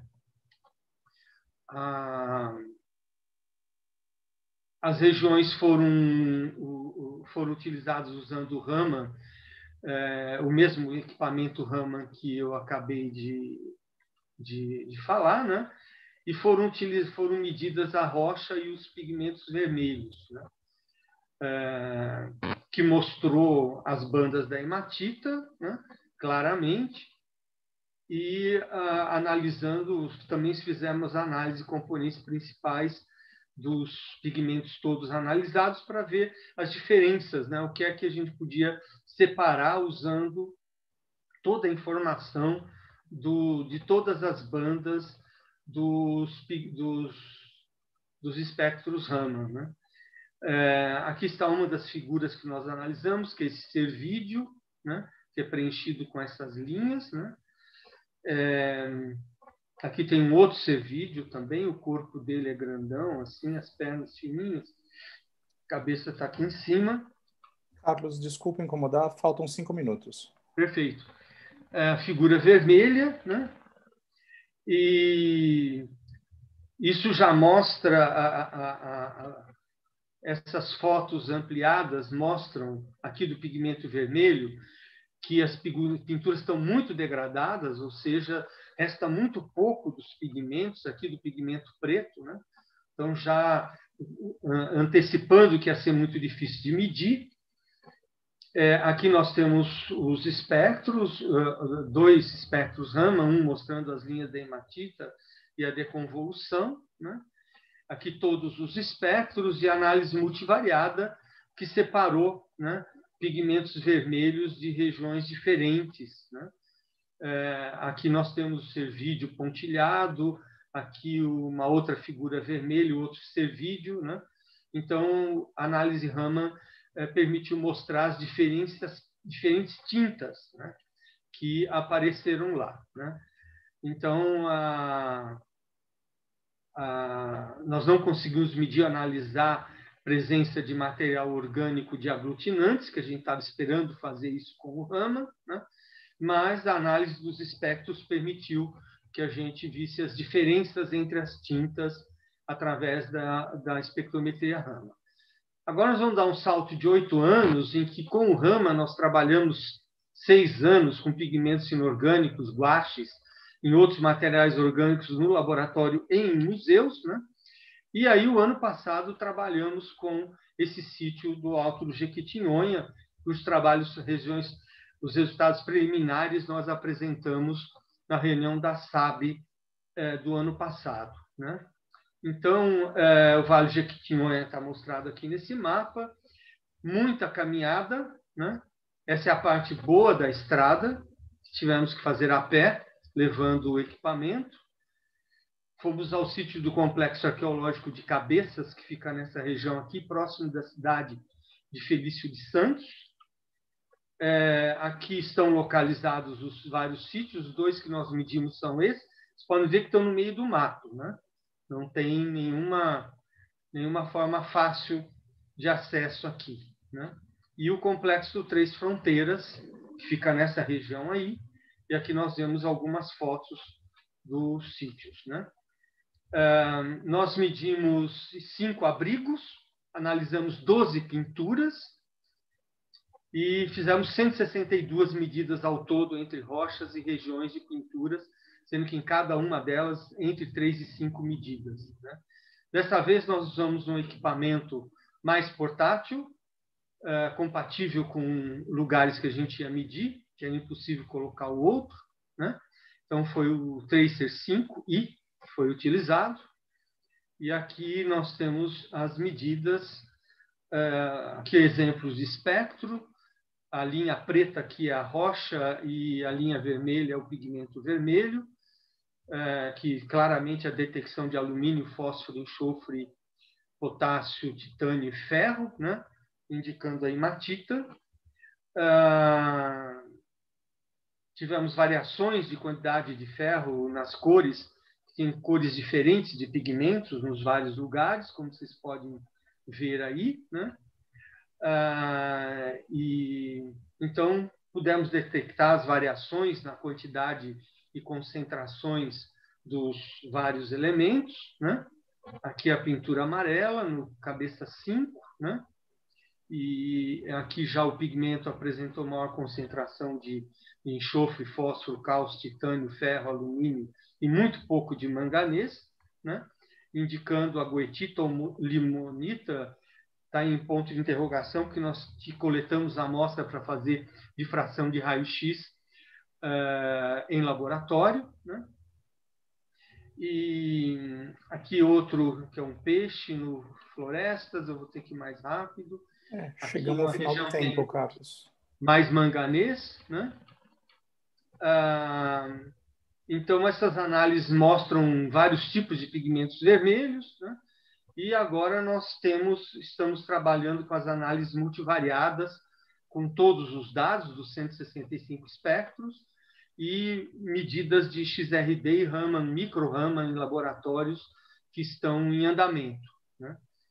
Ah, tem que fazer agradecimentos aos museus e às universidades e às agências de fomento que estão por trás desse trabalho, né? E agradeço pela atenção. Muito obrigado, Carlos, pela excelente palestra. E vamos seguir então com a palestra do professor Renato e depois a gente faz as perguntas de ambos juntos. Obrigado, Carlos. Pode descompartilhar a sua tela, por favor. Bom, Renato, se quiser compartilhar a sua tela, fique à vontade. É, então, agora vamos dar prosseguimento com a palestra do professor Renato Pereira de Freitas. Ele é bacharel em Física, mestre e doutor em Engenharia Nuclear e fez o pós-doutorado no MOLAB, na Universidade de Perugia, na Itália. Atualmente é professor do Instituto Técnico Federal de Ciência e Tecnologia do Rio de Janeiro e desenvolve pesquisa com XRF, especialmente com macro XRF, que vocês vão ver bem na palestra dele hoje, mas usa várias outras técnicas auxiliares, como MEV, XRD, infravermelho, RAMA e outros aplicados em arqueometria. E, além disso, é um grande usuário nosso do LMS. Então, obrigado, Renato. Fica à vontade, pode começar. Você tem é, 40 minutos para sua palestra e eu aviso quando der 35 minutos. Certo, Douglas. É, consegue me ouvir bem? Minha apresentação está normal? Está tudo, okay? tudo em ordem. Está ok. Obrigado, Douglas. Queria primeiro agradecer o, a comissão organizadora do evento por essa grande oportunidade aí de estar tá, é, mostrando o trabalho aí do grupo que eu represento, né? passando um pouco a mensagem do, do grupo que eu faço parte. Então, como foi dito aí, eu pertenço ao Instituto Federal do Rio de Janeiro. É, às vezes confunde, ah, é da UFRJ? Não, porque a diferença é um I e um U, né? Então, mas eu sou professor de Física do Instituto Federal do Rio de Janeiro é um tema de pesquisa que eu já venho desenvolvendo já há bastante tempo, comecei da iniciação científica e prossegui no mestrado e doutorado, né? Então, é... então eu vou aqui está o sumário da minha apresentação do que eu vou falar. Eu vou primeiro falar um pouco do histórico do nosso grupo de pesquisa lá do UFRJ. Vou falar um pouco dos trabalhos que a gente vem desenvolvendo no Museu Histórico Nacional também uma parte, eu dediquei uma parte do, da palestra para falar a respeito do macro XRF, né? a comunidade científica brasileira está com bastante interesse acerca desse tema e a gente recentemente adquiriu um instrumento portátil de macro XRF. Então, é, compartilhar mesmo um pouco a experiência do que a gente tem vivenciado aí com vocês. Bom, então, como eu disse, é um grupo que já vem, apesar de ser um grupo emergente, né, tem, é, com pouco tempo de vida, a gente já vem bastante tempo, a gente já tem alguns projetos consolidados nessa área de arqueometria. É, como, como eu disse, eu comecei fazendo essa, esse tema de pesquisa lá na época da pós-graduação, né? Foi orientado pelo professor Ricardo, queria inclusive aproveitar e agradecer a ele, mandar um abraço aí para ele, pela paciência que ele teve comigo durante a pós-graduação. E aí eu levei esse, esse tema de pesquisa, né, que eu vinha desenvolvendo na ação para dentro do IFRJ. E hoje a gente conta aí com, com colaboradores dentro do IFRJ, que são professores, em sua maioria, e também tem alguns colaboradores externos, né, como, por exemplo, aí o LNLS, o Douglas, a gente colaborou é, recentemente. Tem também uma colaboração muito forte que a gente tem com pesquisadores da Biblioteca Nacional, né? Essa aí é a Isamara, que é, trabalha na Biblioteca Nacional e apresentou, inclusive, um trabalho que a gente tem realizado nesse evento. Bom, nosso campus, é, a nossa instituição, ela se localiza no campus aí, que é uma fábrica histórica. É, quem tiver interesse de conhecer, assim, de, de ir lá utilizar os eventos, a infraestrutura pode ficar bem à vontade, é um local bem agradável para poder estar, para poder é, enfim, até fazer um passeio, às vezes, assim, final de semana, né? É uma fábrica história, histórica, é, modelo inglês do século XIX. E aqui está o grupo de professores cooperado comigo aí nessa tarefa, né? É, especificamente pesquisadores internos né, do FRJ, que são professores que têm cooperado aí com esse trabalho da arqueometria que eu venho desenvolvendo. Né? Então, a gente a gente tem um grupo lá de xadrez, então quando a gente não está dando aula, fazendo análise, a gente normalmente está jogando xadrez. Então a gente tem uma equipe de xadrez também que compete fora. É... Bom, então só para vocês terem ideia, né, assim, onde é que fica essa fábrica, ela se localiza no município de Paracambi, que é o último município antes da subida da serra em direção a São Paulo, em torno de uma hora e meia do Maracanã. Né? Então, é um local que tem um acesso razoável devido à Dutra. E a gente também, assim, acho importante comentar isso, porque o Instituto Federal ele tem uma característica bem interessante, porque a gente é, abrange todos os níveis de ensino, né? desde, a, desde, o ensino, desde o ensino médio técnico até a pós-graduação. Então, isso aí dá a vontade da gente trabalhar com um aluno em diferentes níveis. É, assim, eu particularmente gosto muito de trabalhar com um aluno do nível médio. A gente faz um trabalho de vocação científica muito forte com eles. E a gente já está há 10 anos já fazendo esse trabalho lá e é bem legal ver que os alunos que começaram com a gente no ensino médio hoje estão fazendo doutorado nessa área de pesquisa da arqueometria. Né? Então, essas aí são exemplos de três alunas que começaram fazendo iniciação científica no médio e hoje estão desenvolvendo em nível de pós-graduação é, na arqueometria.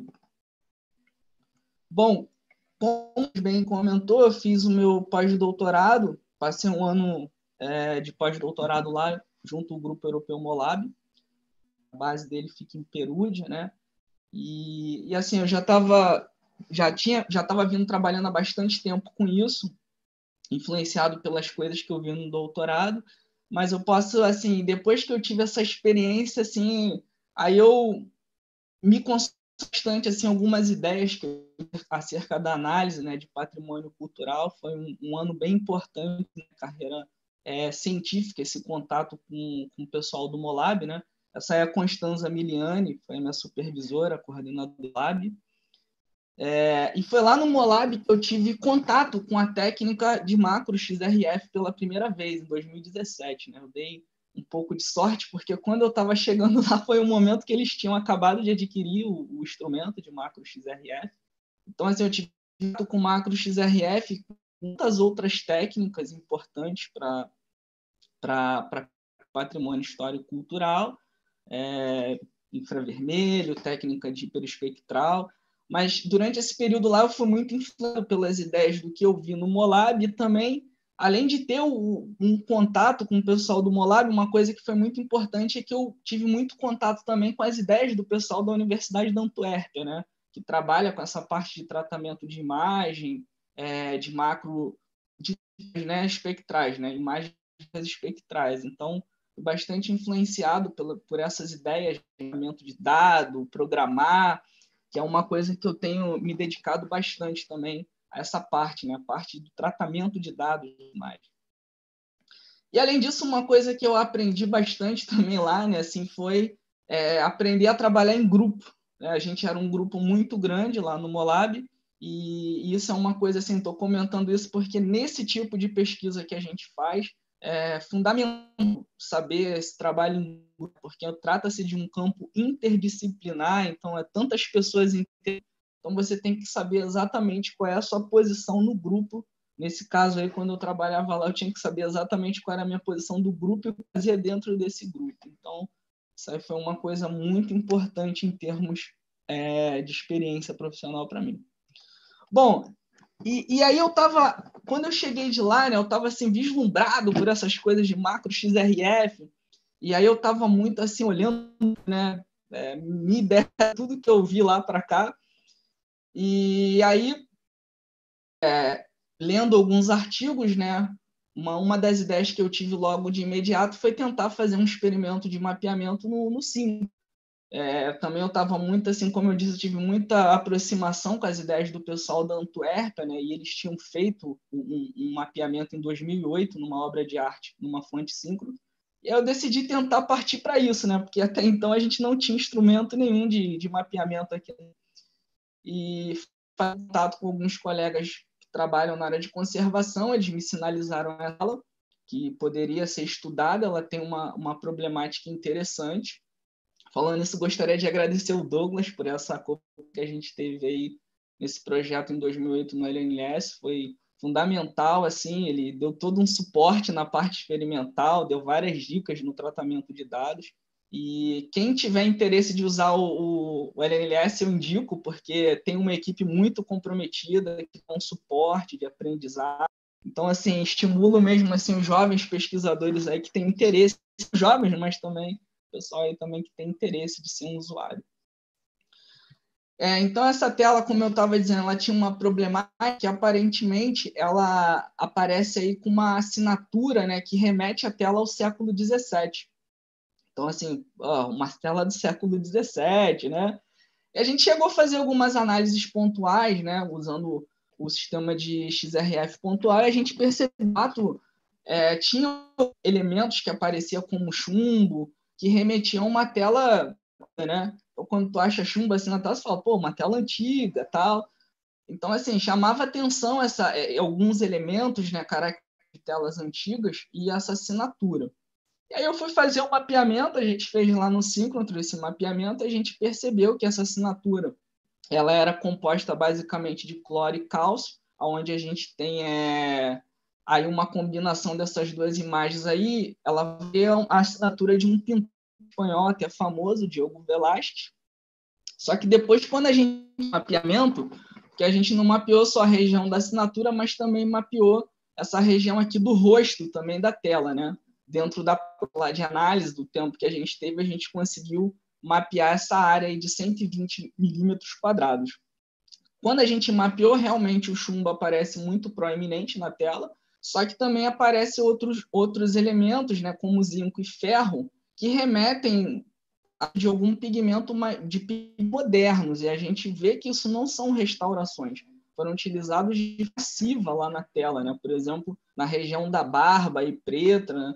que esse pigmento escuro aí, né? A gente vê, por exemplo, aí o escuro seria o óxido de ferro, a, a magnetita, né? Que é um pigmento mais moderno, de uso mais moderno, assim como o zinco, né? Que aparece nas regiões brancas também, que é o óxido de zinco, que são utilizados em pinturas mais modernas. Então, aí a gente confirmou que a gente estava, que se tratava de uma realmente falsa. Bom, quem quiser verificar esse estudo dessa tela, ele se encontra aqui nesse artigo, tem bastante informação. Inclusive, a gente não aplicou só o macro XR, a gente também aplicou técnicas como, por exemplo, sem EDS. É, nesse artigo eu descrevo, a gente fez uma descrição como a gente faz o tratamento de imagens de sem EDS usando a mesma metodologia é, de macro XRF, tem bastante coisa interessante. E logo depois né, que a gente fez o trabalho, é, eu tava, a gente estava pensando o que, que a gente ia fazer, né? Como eu disse, tudo que eu vi lá na época do Molab, eu estava querendo trazer aqui para o Brasil. A gente fez um contato, a gente começou a fazer alguns contatos, uma, uma parceria para o IBRAM para tentar fazer mesmo, efetivamente, a implementação de um laboratório móvel. Né? E aí, recentemente, a gente conseguiu formalizar uma parceria com o IBRAM, então hoje a gente é um laboratório que tem uma, um acordo de cooperação técnica com o IBRAM, para poder implementar junto ao IBRAM um, um museu, né, um laboratório móvel, vai realizar análises físico-químicas em, em obras de arte, né, pertencentes aí aos museus que estão filiados ao IBRAM.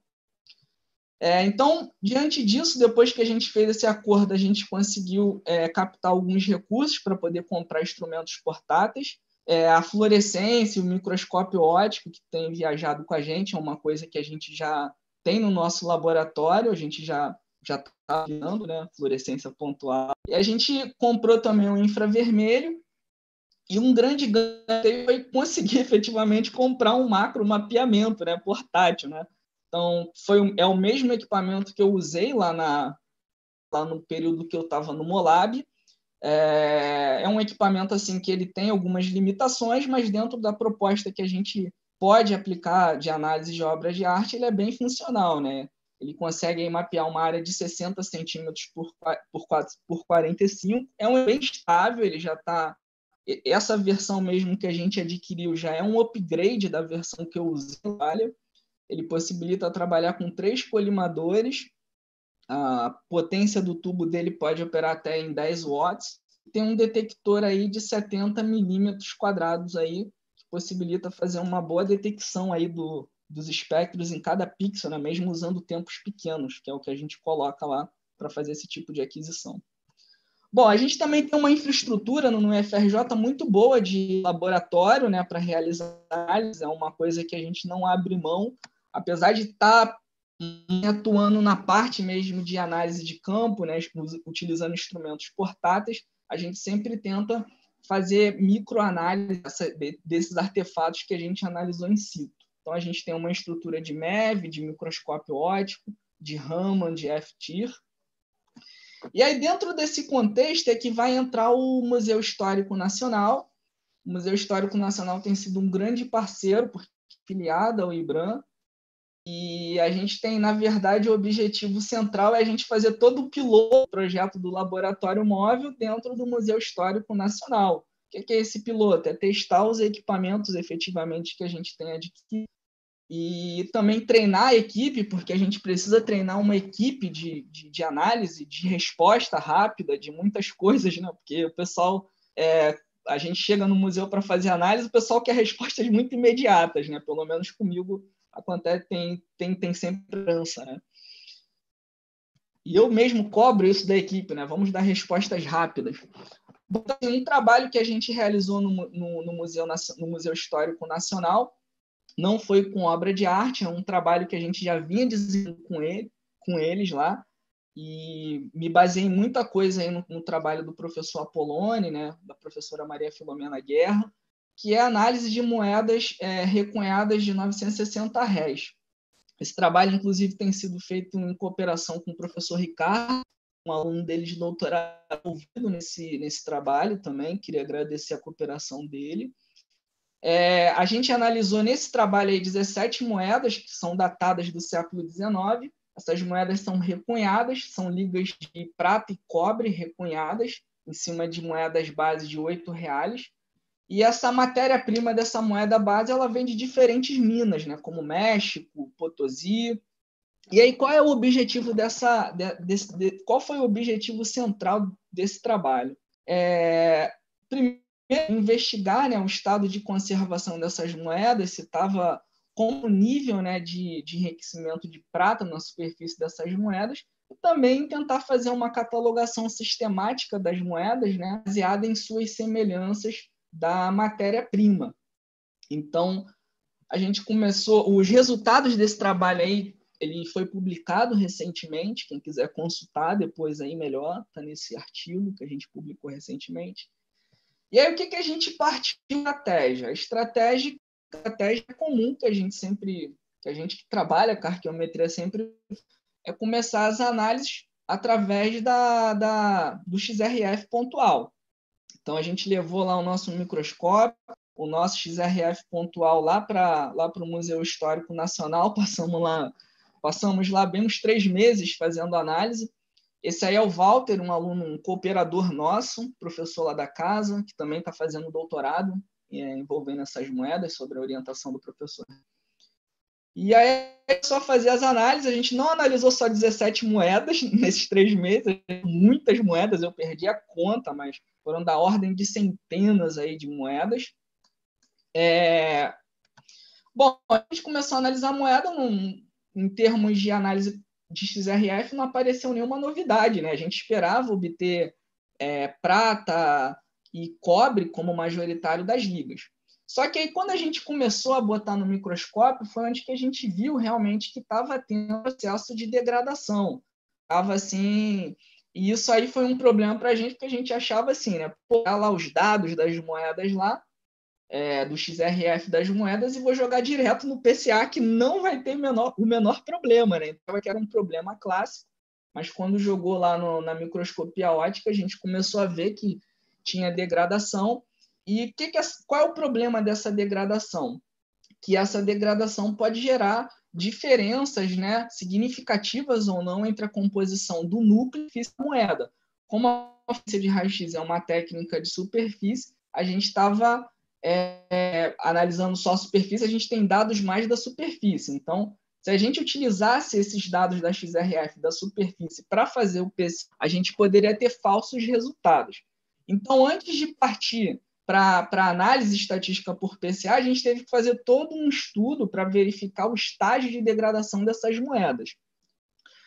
Bom, e aí aqui eu escrevi um pouco a teoria, vou falar de forma muito sucinta, né? mas é, o processo de em ligas de prata e cobre ela ocorre devido né, à depressão preferência cobre comparado à prata. Então, acaba aí corroendo a, o cobre e aí você gera um enriquecimento da prata na superfície, que fica diferente é, o núcleo né, e, o, e a superfície.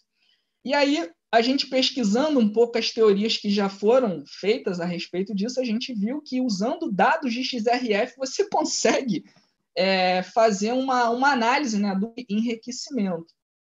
Você tem que pegar lá o, as razões né, das linhas K e da, prata, e em amostras onde você tem um enriquecimento de prata, essa razão ela acaba sendo, né, porque você acaba excitando é, as linhas L da superfície, né, os fótons produzidos ali embaixo acabam excitando a linha L da superfície, como você tem uma concentração maior de prata, a linha L da superfície ali fica mais intensa comparado a regiões não enriquecidas. E aí você acaba tendo uma diminuição nessa razão. Então a gente partiu para fazer isso, essa estratégia. É, para poder fazer essa verificação, a gente tem que fazer uma comparação das amostras com uma amostra teoricamente não está com processo de degradação. Então a gente pegou, fez o comparativo das razões que a gente obteve das moedas com, é, com uma amostra padrão. Para isso, a gente entrou em contato, um, um, um colecionador privado, do museu também, uma, uma moeda para a gente, a gente seccionou essa moeda. Aí a gente viu, por exemplo, aqui, a gente já quando secciona a moeda, a gente vê que essa moeda tem uma diferença entre o núcleo e a superfície. O núcleo da superfície está mais enegrecida, e a gente vê efetivamente né, que os espectros ali adquiridos no núcleo e na superfície têm uma diferença, mas não é uma diferença, quando a gente faz o cálculo da razão, não é uma diferença muito substancial. Né? A diferença aí está bem baixa, né? do 5,5, a gente seria a amostra padrão que a gente vai ter, né? onde não está tendo crescimento, enquanto na superfície vai dar 6,04. Bom, mas aí a gente. Esse cálculo aqui a gente fez utilizando dados de XRF pontual, né? O nosso objetivo agora era tentar fazer uma expansão para tentar ver todos os dados da superfície com os dados do núcleo, para ver o que estava acontecendo. E aí, para fazer essa razão, né, verificar de forma sistemática vários pontos, a gente submeteu a amostra que a gente seccionou, uma análise de micro XRF, e a gente obteve os mapas né, do AG, da, das linhas L das, das linhas K, né, do, do, da, dessa transversal. E aí eu construímos aqui uma curva aqui relacionando essas imagens, as intensidades que aparecem por pixel nessa imagem, e a gente consegue ver que efetivamente aqui, ó, o, o coeficiente aqui da equação, né, que remeteria a essa razão de K com a GL, são muito distantes, né? Então, confirma de fato que mesmo tendo traço de corrosão, ele não afeta tanto, ele significativamente não existe tantas diferenças entre o núcleo e a superfície. Aqui é uma imagem de correlação com esse plot. É, tem toda uma, toda uma ideia por trás disso aí. Depois, se alguém tiver dúvida, eu posso explicar um pouco melhor. A gente vai ver mais isso aí nas imagens de macro XRF também. É, a gente também aplicou também o, o micro XRF para superfície para ver como é a gente nota também que fazendo imagens da e do cobre por micro XRF, a gente não vê diferenças significativas em termos é, do, a gente vê uma coisa homogênea da prata e do cobre na superfície, não tem tanta variação, e isso se remete também no, no correlation plot que a gente vê aqui, né, onde você tem aí o, o, uma, uma, tendência linear entre a prata né, e, o, e o cobre. E aí, quando você faz aqui a imagem de correlação desses plots, vê a mesma coisa. Bom, os resultados que a gente teve nesse trabalho aí mostrou para a gente que as moedas que a gente estava analisando, mesmo tendo um processo de degradação, é, não estava de forma tão sistemática, então a, a, a, composição elementar do núcleo e da superfície das moedas que a gente analisou são bastante próximos. Isso aqui são os dados né, do, comparativo das razões, né, AGK, AGL, para as moedas que a gente mediu com a amostra padrão. E a gente fez um baseado aí no, no, na, nas áreas que a gente tem. Só que aí eu não apliquei, a gente decidiu aplicar um novo método de PCA, que é análise de PCA baseada em métodos robustos. Isso, né? Porque o PCA clássico, ele ele tem um problema que você às vezes vê uma amostra ortogonal ao seu plano, ele acaba influenciando toda a distribuição de como você olha o PCA, né? Então esse método aí já tem algumas correções, é, tem bastante coisa legal para fazer sobre esse aí, aconselho que a gente se estudar, se aprofundar nisso. Bom, e aí uma que a gente está agora trabalhando, né? Uma problemática que o pessoal do museu deu para a gente lá, que a gente está bem ansioso para fazer as macro XRF, FTR, são análises de pinturas ovais atribuídas ao pintor Leandro Joaquim. Então, são seis, são seis telas ovais, datadas possivelmente do século XVIII. Eu coloquei possivelmente datadas porque eles têm alguma dúvida se, é, se essas telas realmente são do Leandro Joaquim, né? mas tudo indica que sim. Eles querem um, uma chancela um pouco maior. Né? Então, o objetivo central que a gente tem feito é verificar se essas obras foram manufaturadas por um processo de, de criação, se realmente isso aí vai remeter ao processo de criação do, do Leandro Joaquim. E a gente está optando por fazer análise XRF, FTIR e macro XRF. Então, nessa primeira etapa, a gente fez uma série de medidas de XRF, aplicando a metodologia clássica, e o que, que a gente tem feito? A gente, para poder comparar as telas, a gente faz medidas por pontos que têm a mesma tonalidade e depois a gente é, faz um PCA né, dos espectros que a gente teve por cada tonalidade. Então, a gente aí tem tonalidade marrom, ocre, vermelho, cinza. Quando a gente faz um PCAI, pelo menos os resultados preliminares, tem mostrado que, de fato, por exemplo, a cor cinza, né, a tonalidade cinza na tela, ela tem de composição elementar muito semelhante do que aparece em outras telas. Assim, aparece com verde, com marrom, com vermelho. É muito bacana isso aí também, porque vejam bem que a quantidade de dados a ser adquiridos então, como eu disse, assim, uma parte do trabalho que eu tenho dedicado muito é a parte da computação científica, junto com os alunos, com os discentes que eu oriento, para a gente tentar desenvolver códigos né, que vão dar respostas rápidas, fazer leituras automatizadas de todo esse processo. Quais são as conclusões parciais que tem por enquanto? Os espectros lá XRF dessas telas muito semelhantes, todas elas apresentaram cálcio, titânio, ferro, zinco e chumbo. A principal diferença entre os espectros basicamente é a intensidade. E pelas análises do PCA, a gente é, conseguiu verificar que efetivamente as telas possuem similaridade no seu processo lá de, de, de criação, né, no seu processo criativo.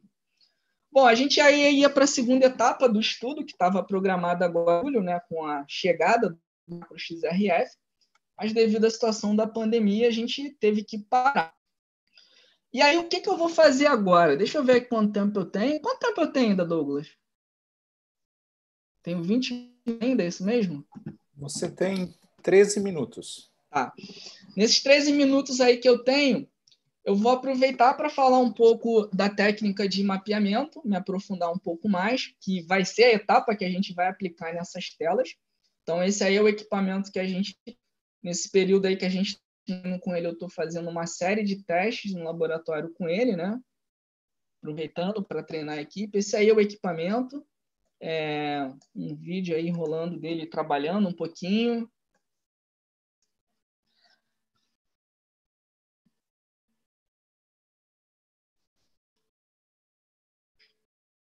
É, eu, eu, fico assim abismado como esse equipamento trabalha rápido, assim, é, é, extremamente rápido o processo de aquisição. Ela aí deve ter em torno de 7 por 80 centímetros. Ele consegue fazer um mapeamento de um frame em torno de com uma resolução razoável. Lógico que, claro, que se você aumentar a resolução, você vai aumentar todo o tempo de, edição, todo o tempo de análise. Então, tudo isso aí vai ser movido, né? Mas é um equipamento rápido. E é fácil de operar também. Bom, eu agora vou mostrar algumas aplicações sobre o macro mapeamento, algumas coisas que eu fiz, outras que eu fiz aqui, para mostrar o potencial melhor da técnica. É uma tela que a gente analisou lá na Deposition, né, do Rafaelo. É, aí são as imagens do chumbo que a gente vê, né, que a gente obteve o mapeamento do chumbo. É o que a gente vê nessa tela aí. A gente tem perdas aí acontecendo nessa tela, né, perdas aí da, possivelmente da camada de preparação. Também a gente consegue ver aí duas pinturas subjacentes, né? É, uma coisa bacana faz a imagem do cálcio e coloca lá, né, a gente vê exatamente que o cálcio né, foi muito ali na região onde é que tinha perdas do chumbo. Então, quando a gente constrói as duas imagens, a gente consegue ver isso aí.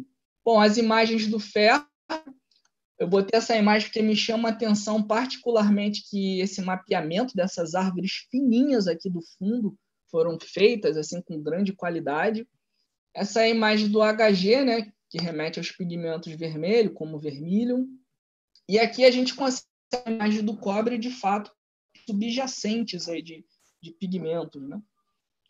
Bom, outro exemplo que eu gosto sempre de dar do macro XRF é a possibilidade de você correlacionar a imagem, né? porque não é somente você trabalhar em função de imagem, tem toda uma parte de tratamento de imagem.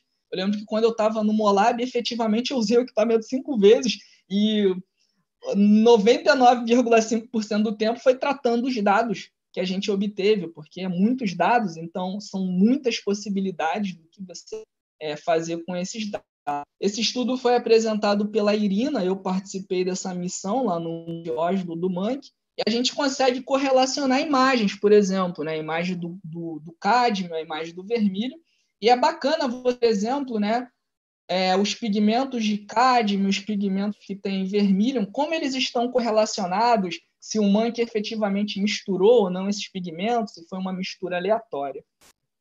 Bom, esse resultado desse trabalho está publicado na Science, quem tiver mais interesse de aprofundar nesse trabalho. E esse aqui é um estudo que a gente fez agora aqui em terras brasileiras, né, de macro no nosso equipamento, é, usando essa tela aí. Essa tela chegou aí para a gente aí, possivelmente é, um, alguém estava curioso para saber a idade, né, porque olha assim parece que é antiga, né? A gente fez aí o, o estudo aí do, do macro mapeamento. Eu coloquei aqui uma imagem que a gente adquiriu pelo macro mapeamento e também uh, o espectro coletado com um sistema portátil de XRF e o espectro que a gente realmente vê num pixel. Por que isso? Porque a gente nota que a intensidade dos espectros coletados em um pixel é muito baixo. Esse aí, na verdade, é o espectro máximo da matriz, né? mas as ordens de grandeza aí dos espectros aí dos espectros são muito baixas. Então, qual é a conclusão disso? Né? A gente sempre tem que voltar, olha as intensidades aí, a gente sempre tem que voltar para o nosso precioso. Né? Então, não pode desminorizar a história da fluorescência pontual, porque a gente acaba tirando né, específicas usando uma fluorescência pontual, né? porque é, é um problema, às vezes, no macro, quando você vê elementos de baixa intensidade, porque você faz o fit usando o espectro soma, né? Que você tem lá da sua matriz, então, às vezes, uma baixa intensidade pode ser perdida aí. Então, o meu conselho aí, minha, minha metodologia que eu tenho usado, é continuar com a campanha analítica de análise pontual, né? O nosso precioso lá, o XRF. Não dá para desmenosprezar ele. Bom, uma outra estratégia de estudo que assim é bem bacana fazer com dados de mapeamento é usar técnicas estatísticas multivariadas com imagem, né? com os dados de imagem como não negative metrics, né? matriz de fatorização, onde você tem o cubo é para você uma, uma, uma, uma separação entre as imagens associadas aos espectros de maior relevância e efetivamente ele vai dar os espectros de maior relevância. Então, assim, é, eu gosto de, de fazer muito isso aí porque, assim, pula bastante a etapa do meu trabalho, né? É, aqui é escrita nesse artigo aí do se quiser verificar melhor. Então, essa tela é uma grande, ela tem 40 por 35 centímetros. É, aqui está o processo do, do NMF que eu apliquei. O que a gente vê no NMF? A gente vê a imagem associada a uma base que vai ser os elementos que apareceram nessa imagem. Então, aqui para a gente, nessa primeira imagem, o mais relevante é o cálcio e o ferro. Já na segunda imagem, maior relevância é o cálcio e o titânio. E é legal que você produza as bases, então, por exemplo, aqui você tem uma base onde você tem um manto de ferro, o, o, titânio, ferro zinco, né, na região ali branca. E aí agora aqui você já tem nessa região é, uma, uma, uma maior predominância do cobre e do zinco. Uh, e já nessa outra imagem aqui, você tem uma predominância do cromo e chumbo. O tempo está acabando, né? É, aí agora, bacana de você fazer esse. O bacana é que você, assim, qual é o legal, né, de, de você fazer MF? é que você agora, uma vez que você tem essas informações da base, você fazer o processo de correlação das imagens não passa a ser uma tentativa, você vai em coisas focadas, né? Então, como a gente já viu que o titânio e o zinco estão correlacionados, a gente pode fazer um correlation plot entre o titânio e o zinco e aí ver como eles estão se comportando, né? No caso aí também a gente fez para o ferro e, e, e para o manga. Então a gente, obviamente, aí que existe uma correlação nessa região mais né, da, da, da, pintura, uma correlação linear, mas tem pontos também sem correlação. Já aí existe uma correlação linear entre o zinco, é, isso era mais ou menos assim, pelo que a gente já estava vendo pelas imagens, era esperado, né? Essa região de correlação linear é onde aparece essa região dourada, então remete aí ao uso do latão, né? Nosso bronze, é, latão mesmo, né? Efetivamente. E também essa região aí do zinco correlacionada que remete aos pigmentos brancos. Cinco minutos, Renato. Bom, assim, é, queria mesmo aproveitar é, para agradecer o, a comissadora desse evento mais uma vez por essa rica oportunidade que eu tive aí de apresentar esse trabalho. Foi fantástico assim estar no meio de vocês aí, tantos gigantes aí, professora Márcia, professor Apolone, Douglas, professor Ricardo. Também agradecer as agências de fome que estão dando parte aí para a gente. Vou parar por aqui, deixar esses cinco minutos aí para dúvida. Muito obrigado, Renato. Parabéns aí pela exposição, parabéns pelo trabalho fantástico que vocês estão fazendo. Bom, vamos. Temos algumas perguntas aqui. Vamos começar com a para o Apolone. Por favor, Apolone, pode voltar com a câmera aqui para a gente? Então, primeira pergunta, então, para o Carlos. É, Apolone, no trabalho de, em Chapadinha, como foram feitas as imagens dos pigmentos ampliados? Você pode comentar um pouquinho mais sobre isso? Câmera fotográfica de celular. Nós não imaginávamos que iríamos fazer isso, não tínhamos ideia do nível de degradação, né? E, então foi feita a fotografia com o que tínhamos à mão, né? Mas foi o suficiente para obter aquelas imagens que vocês viram bastante adequadas para mostrar os detalhes.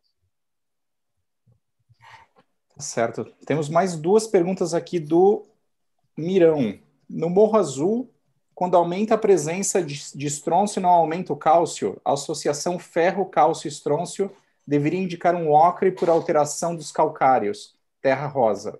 Sim, é, é, isso mesmo. Nós não fizemos ainda, na verdade, todas as análises que devíamos ter feito daqueles dados, né? mas essa degradação, essa correlação foi observada. E ele faz uma pergunta também sobre a associação bário-manganês no mineral romanechite, e é comum em minérios de manganês. Há minas ou mineralizações de manganês na zona? Não há. É, e essa questão da, da questão do bário está, está ainda em aberto. Eu cheguei a discutir com um geólogo sobre isso na época e é uma outra questão a ser retomada com a análise desses dados que, na verdade, ainda continuam. Tá, mais uma pergunta do Luiz para o Apolone. É, você menciona a eventual busca pelo que chama de pigmentos orgânicos nas pinturas rupestres. Quais poderiam ser esses pigmentos? Não seriam esses corantes? É, uh, eu, como não sou da área, vivo trocando o vocabulário né, correto. Né? É, no caso das cestarias e outros materiais daquela cultura, eles usavam corantes orgânicos. Né? E, e foi realmente essa pergunta primeira feita: se eram restos de corantes orgânicos ou não. Ficou claro que não, são pigmentos inorgânicos, como com base em tudo que já se sabia de outras regiões do mundo e mesmo daqui do Brasil, mas a, o teste era esse, não era pigmento orgânico. Se poderiam ser remanescentes de corantes, né? mas não são é, mesmo porque a quantidade de matéria orgânica que reflete aquela, aquele aumento do espalhamento Compton no, nos espectros, né, só foi observado quando analisamos é, pigmento preto, né, ou seja, ali tinha realmente matéria orgânica do tipo carvão ou qualquer coisa é, parecida. Uma pergunta da Márcia para o Carlos também. É, observei grande quantidade de titânio no sítio de Cabeças. Qual a correlação com outro sítio, se houver? Não sei ainda, Márcia. Nós estamos analisando os dados ainda dos sítios de Minas Gerais, mas o solo daquela região é bastante rico em titânio. Né? E que é, é, é tem composição de rochas e solo da, daquela região é completamente, ou muito diferente, não completamente, mas muito diferente da, do, das regiões do Paraná que nós analisamos. Né? Então, tá, está correlacionado com isso, certamente. Um comentário do Luiz, também para o Apolone. Em nossos estudos em Minas Gerais, também o carvão como pigmento preto. Só um comentário. Sim, é, é, o mais provável, não? E já que nós não medimos nenhum elemento de signatura clara de pigmento inorgânico, mas tem uma quantidade de material orgânico claro na região, o candidato mais provável é o carvão, mesmo porque nas escavações arqueológicas feitas nesses sítios, em anos anteriores, nos vários estratigrafias, foram encontrados fragmentos de carvão, que inclusive foram datados. Ok, um uma pergunta da Carla também para a Poloni. Daqui a pouco a gente passa para o Renato. É, uma pergunta para a Poloni. Tive a impressão de ter visto uma identificação de ródio e argônio em algumas das suas medidas apresentadas. É isso mesmo? Não é estranho? Teria alguma não, mina é de platina? Não, não é estranho. A, a, o, a, as últimas medidas que eu mostrei são com o tracer e o tubo do tracer é, de anodo de ródio. Então, a, as linhas do ródio têm que aparecer, aliás. Não vai, vai ser estranho se elas não aparecessem. E, por outro lado, a argônia do ar, né? é, toda medida no ar, é, com uma certa camada de ar, vai ter a, o pico de argônio, né? que inclusive a gente pode usar para calibração e verificar se a gente usou a mesma distância, se a geometria foi, foi, foi bem mantida ou não, através do pico de argônio. Legal. Obrigado, Carlos. Vamos passar então agora para as perguntas para o Renato. Bom, vamos lá, temos várias também, além de vários parabéns para ambos os palestrantes. É, uma pergunta do Pedro para o Renato. Foi criado um banco de dados para as ligas das moedas analisadas? É assim, Pedro, ainda não, mas a gente, dentro desse convênio que a gente está fazendo, a gente pretende é, de forma sistematizar isso aí e deixar isso aberto de alguma forma para gerações futuras, né? Porque, assim, uma, uma problemática que a gente in, enfrenta nessa é que a gente sempre tem que recomeçar o trabalho todo de novo, mesmo alguém já tendo feito, porque a gente às vezes não tem dados para comparar. É, e aí é interessante, eu entendo que a gente tem que publicar, ter um cuidado com nossos dados, mas eu digo assim, né, a instrumentação ela tem avançado tanto, então seria vezes a gente ter como comparar de equipamento anterior. Então, assim, a gente pretende aí futuramente assim, entregar isso aí para o IBRAM e eles é, aí tem que ver também, porque isso aí envolve colaborador, envolve uma série de questões é, para ver se eles vão autorizar efetivamente a gente fazer isso. Mas a ideia, pelo menos que eu tenho, é disponibilizar isso aí. Legal, obrigado. Bom, a pergunta do próprio Apolone para o Renato. Renato, como foi feito o convênio com o IBRAM? Qual é o mecanismo? ah, o convênio é, mandando e-mail, perturbando eles bastante, dando, fazendo bastante e-mail, contatos. E assim, finalmente foi. A gente perturbou bastante eles, na verdade. E aí teve uma hora lá que eles decidiram lá abrir as portas, a gente preparou um projeto apresentamos para eles, né? E assim, eles abraçaram, estão com bastante sede. E assim, uma coisa que eu queria aproveitar, a gente está nessa reunião e dizer que eles, assim, é, têm espaço para tantos outros. Né? A gente pode aí, é, se vocês tiverem interesse de fazer fatos, a gente pode conversar isso aí. É, só um comentário relacionando com, sobre as moedas que você que a gente falou agora do banco de dados. A professora Márcia falou que ela tem um grande conjunto de moedas medidas no Museu Paulista. Ele, e ela acha que poderia fazer uma correlação entre essas moedas e as suas. Então, já surgindo uma colaboração entre vocês. É uma pergunta do YouTube agora, do Wesley.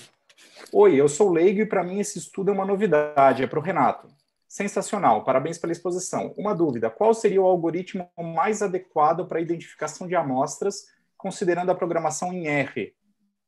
Então é pergunta de computação Boa. científica para você. Pô, legal, gostei. Na verdade, assim, eu queria aproveitar também isso aí é, para falar uma coisa, né?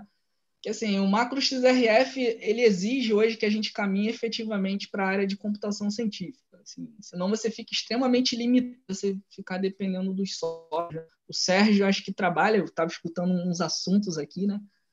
Ele, assim, e essas linguagens, o R, eu uso muito Python, mas eu uso também o R é, tem pacotes assim extremamente amplos que você vai jogar lá e vai, vai digitar igual Excel os comandos. Né? Então, mas tem pacotes em R, eu não entendi exatamente a pergunta. Esqueci a pergunta.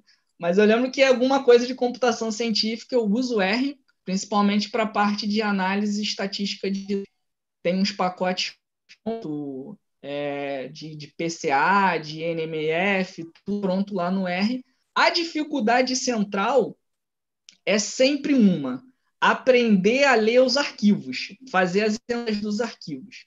Por exemplo, a, no artigo, por exemplo, a Brooker tem um formato lá BCF. Eu lembro que eu estava trabalhando com um Tornado, esse Tornado aí que a gente fez o trabalho das moedas. Eles têm um formato BCF que assim é, é não é aberto. Só que lá achar um, um pacote dentro do Python que consegue quebrar a entrada do arquivo e eu consigo efetivamente acessar os dados para estar tá fazendo o, o, os tratamentos lá que eu que é assim que a gente gosta de fazer, né? Ter o acesso aos dados. Beleza, uma pergunta do Pedro para o Renato. É, Renato, para destacar os elementos minoritários, poderia-se aumentar o tempo de medida por pixel, por pixel, mas em uma região escaneada menor? Pode, você pode aumentar. É, o problema, como eu disse, a, a, gente. Porque ali a tua imagem, a imagem final que você. A primeira final, o Pedro ele trabalha já com macro XRF. A primeira imagem final que você vai ver é uma imagem que vai ser o, o espectro soma de todos os. Né? Então, assim, é, não vai ser visível, por exemplo, se você tiver um elemento minoritário. Essa imagem não vai te dar uma evidência desse elemento minoritário. Então, assim, é, o ideal mesmo é você tentar aplicar um NMF para ver se você acha alguma coisa ali diferente, né? Porque o NMF, a ideia dele é muito parecida com o PCA. Ele vai efetivamente ali te dar uma coisa que está fora do, da, da, curva, as coisas mais comuns, mas também ele vai te dar o que está fora ali da curva, ele vai te destacar. Agora, a questão de aumentar o tempo de, de escaneamento é complexo porque, assim, né, você Imagina, você pode fazer uma medida de um quadro com um tempo de é, uma hora, como você pode fazer a medida de um quadro em uma semana, em um dia. Agora, é sempre você avaliar tua, a, o teu tempo, né, junto com o teu período ali de medida, efetivamente. Entendeu? Então, assim, Pedro, minha dica final é o seguinte, é, faz lá a imagem lá do macro XRF, MF, avalie os pixel a pixel, e se tiver alguma coisa, vá lá com o XRF pontual. Legal. Pergunta da Márcia. É, ela falou que observou picos de mercúrio nas moedas. Pode comentar? Boa, boa pergunta. Excelente pergunta. Esses picos de mercúrio estão tá relacionados ao processo de manufatura das moedas, né? É, assim, eu queria deixar claro que esse trabalho ele é desenvolvido com uma interdisciplinaridade gigante, né? Então, assim, eu sou da equipe, né? Mas tem o químico, tem o pessoal que trabalha com arte. E aí, conversando lá com o pessoal da física, da química, que entende mais disso, eles falaram que isso aí está relacionado ao processo de manufatura, aquele processo que ele chama de alma gama, né? E parecia que eles utilizavam de alguma forma no manufatura para poder, uh, enfim, dar prata, não sei exatamente que, que foi feito, mas está relacionado àquele processo antigo de alma gama, né? Que eles chamam. Mais uma pergunta da Márcia, que eu acho que é pergunta de vários, inclusive minha mesmo, é para você dar referências sobre o PCA, o método de PCA mais robusto que você comentou. Opa, boa! assim, deixa eu contar um pouco a história disso. É... Cheguei a isso como disse, né, eu fui muito influenciado nesse período lá pelas ideias do que eu tenho visto do pessoal, eu sigo eles muito, eles, eles trabalham efetivamente com isso. E aí foi o seguinte, eu, eu a gente tinha subido esse artigo das moedas é, e, eu, e eu tinha colocado um método clássico do PCA, né? E no método clássico, eu não sei se os outros colegas aí usam, alguém pode combinar, mas eu normalmente eu vou lá, eu faço manualmente o círculo do, do agrupamento. Eu vou lá manualmente e marco na mão. Não sei se vocês têm um método diferente. Aí o referee falou: vem cá, como é que você fez isso aqui? Aí eu falei assim, com uma pergunta, eu preciso estudar. E aí eu comecei a verificar, eu vi que esse método do PCA robusto, ele já tem uma ele já tem já um algoritmo de cálculo que vai marcar automaticamente todo esse esse agrupamento. Então, assim, é, tem uns artigos bem interessantes que estão na referência desse trabalho. Eu, eu aconselho vocês lerem, que é do grupo do pessoal da, da Antuérpia, se tem interesse, né?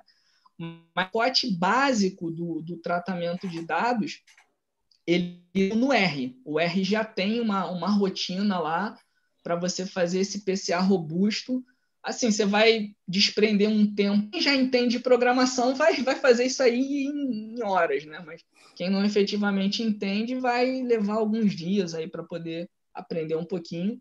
Mas a dica é o R e esses artigos de referência lá do pessoal da Antuérpia. E última pergunta aqui da Elizabeth. Pelo que foi apresentado nas pinturas, você faz primeiro as medidas de XRF de XRF, sem usar pré-diagnóstico por imageamento, qual é a certeza que você tem se está medindo os pigmentos originais e as intervenções de restauro? como você faz essa separação na análise de dados? Boa pergunta, né? Agora, agora, que, eu, agora que a gente tem disponível o macro XRF, eu posso fazer antes o macro XRF. Né? E quando eu não tinha, eu tinha que fazer o, o, o análise pontual. É, mas assim, eu aconselho, se você tem a, a, técnica de imagem, não só o, o, o macro XRF, otimizar o teu trabalho, mas digo de outras técnicas de imagem. Eu sei que o pessoal da USP, a própria Elizabeth, trabalha com essas coisas de imagiamento, né? E aí o que eu aconselho é efetivamente primeiro fazer as técnicas de imagiamento e fazer um XRF pontual, né? Porque isso aí vai evitar de você ter que fazer 100 pontos às vezes, né? Você vai ter 10 pontos de coisas específicas que você quer olhar. Bom, bom, obrigado. Eu tenho, eu tenho uma última pergunta que eu queria fazer para a Polônia, na verdade. Uma pergunta minha. É, a gente viu aqui comparação entre vários instrumentos construídos em house, constru... equipamentos comerciais. E a gente sabe que muitas das coisas a gente faz em house porque é muito caro no Brasil comprar um equipamento desses, né?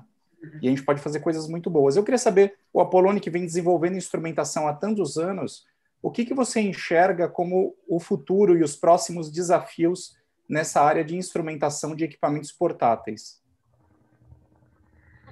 Pergunta complicada. Primeiro, é, é, vamos fazer uma correção. O Apolone vem desenvolvendo significa a equipe do laboratório que eu coordenei. Né? É, e, sem dúvida, nós físicos gostamos de desenvolver os equipamentos e fazer os equipamentos mais flexíveis e maleáveis uh, para medir todos os objetos que a gente poderia ter pela frente, né?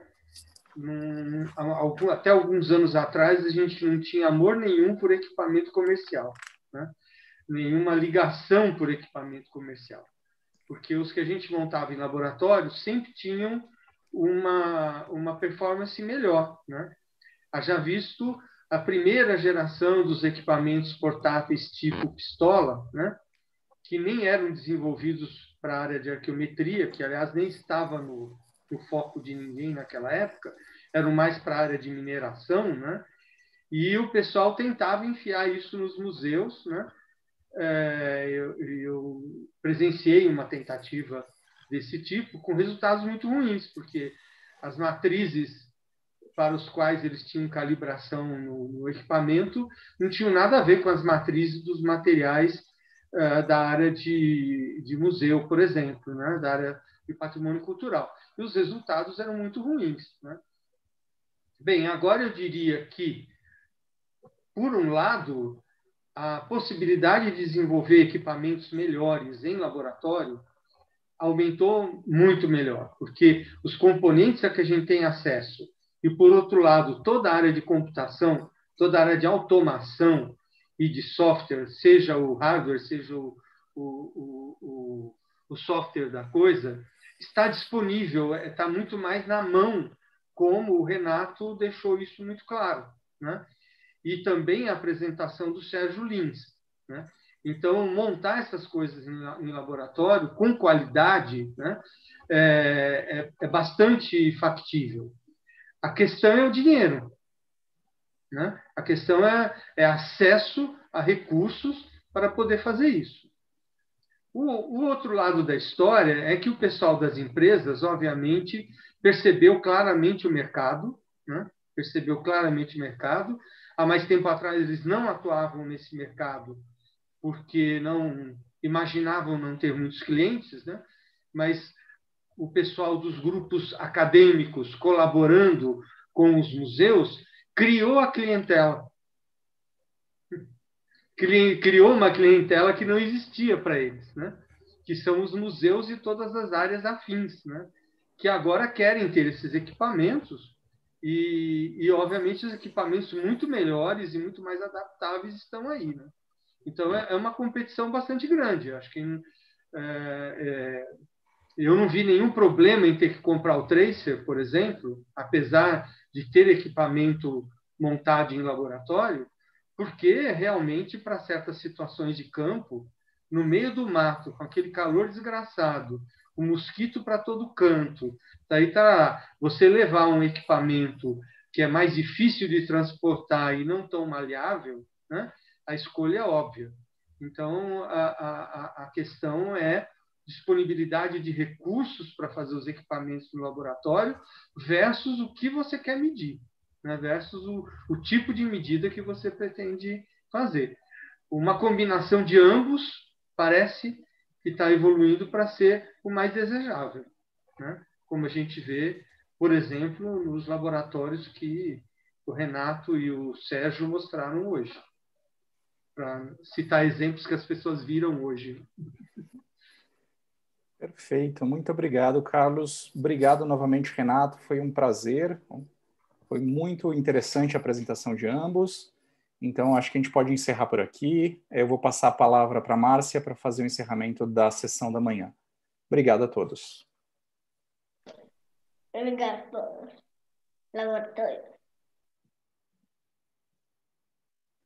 Bom, muito, muito obrigado. Olha, Carlos, está desligado o seu microfone.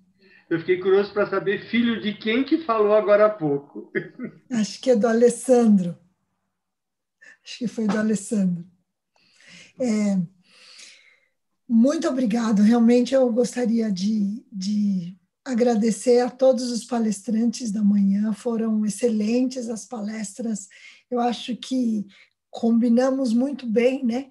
A experiência do Carlos, todo esse trabalho dele e dois jovens que estão com todo o gás possível, que é o Sérgio e o Renato. Então, é, eu fico muito feliz, porque apesar de eu, o Carlos achar que eu sou novinha, eu já não estou mais tão novinha, e eu adoro ver vocês já nesse pique todos, né? Vocês estão, vocês têm muito para contribuir. Eu acho que vocês estão no caminho certo. Eu acho que eu gostaria de ver trabalhos realmente de boa qualidade de vocês, e eu acho que vocês têm capacidade de fazer, confio plenamente nisso. Então, seria muito legal é, eu, eu, eu, eu, vou ficar cada vez mais feliz de ver os trabalhos de vocês. E tem toda uma moçada nova aí, né?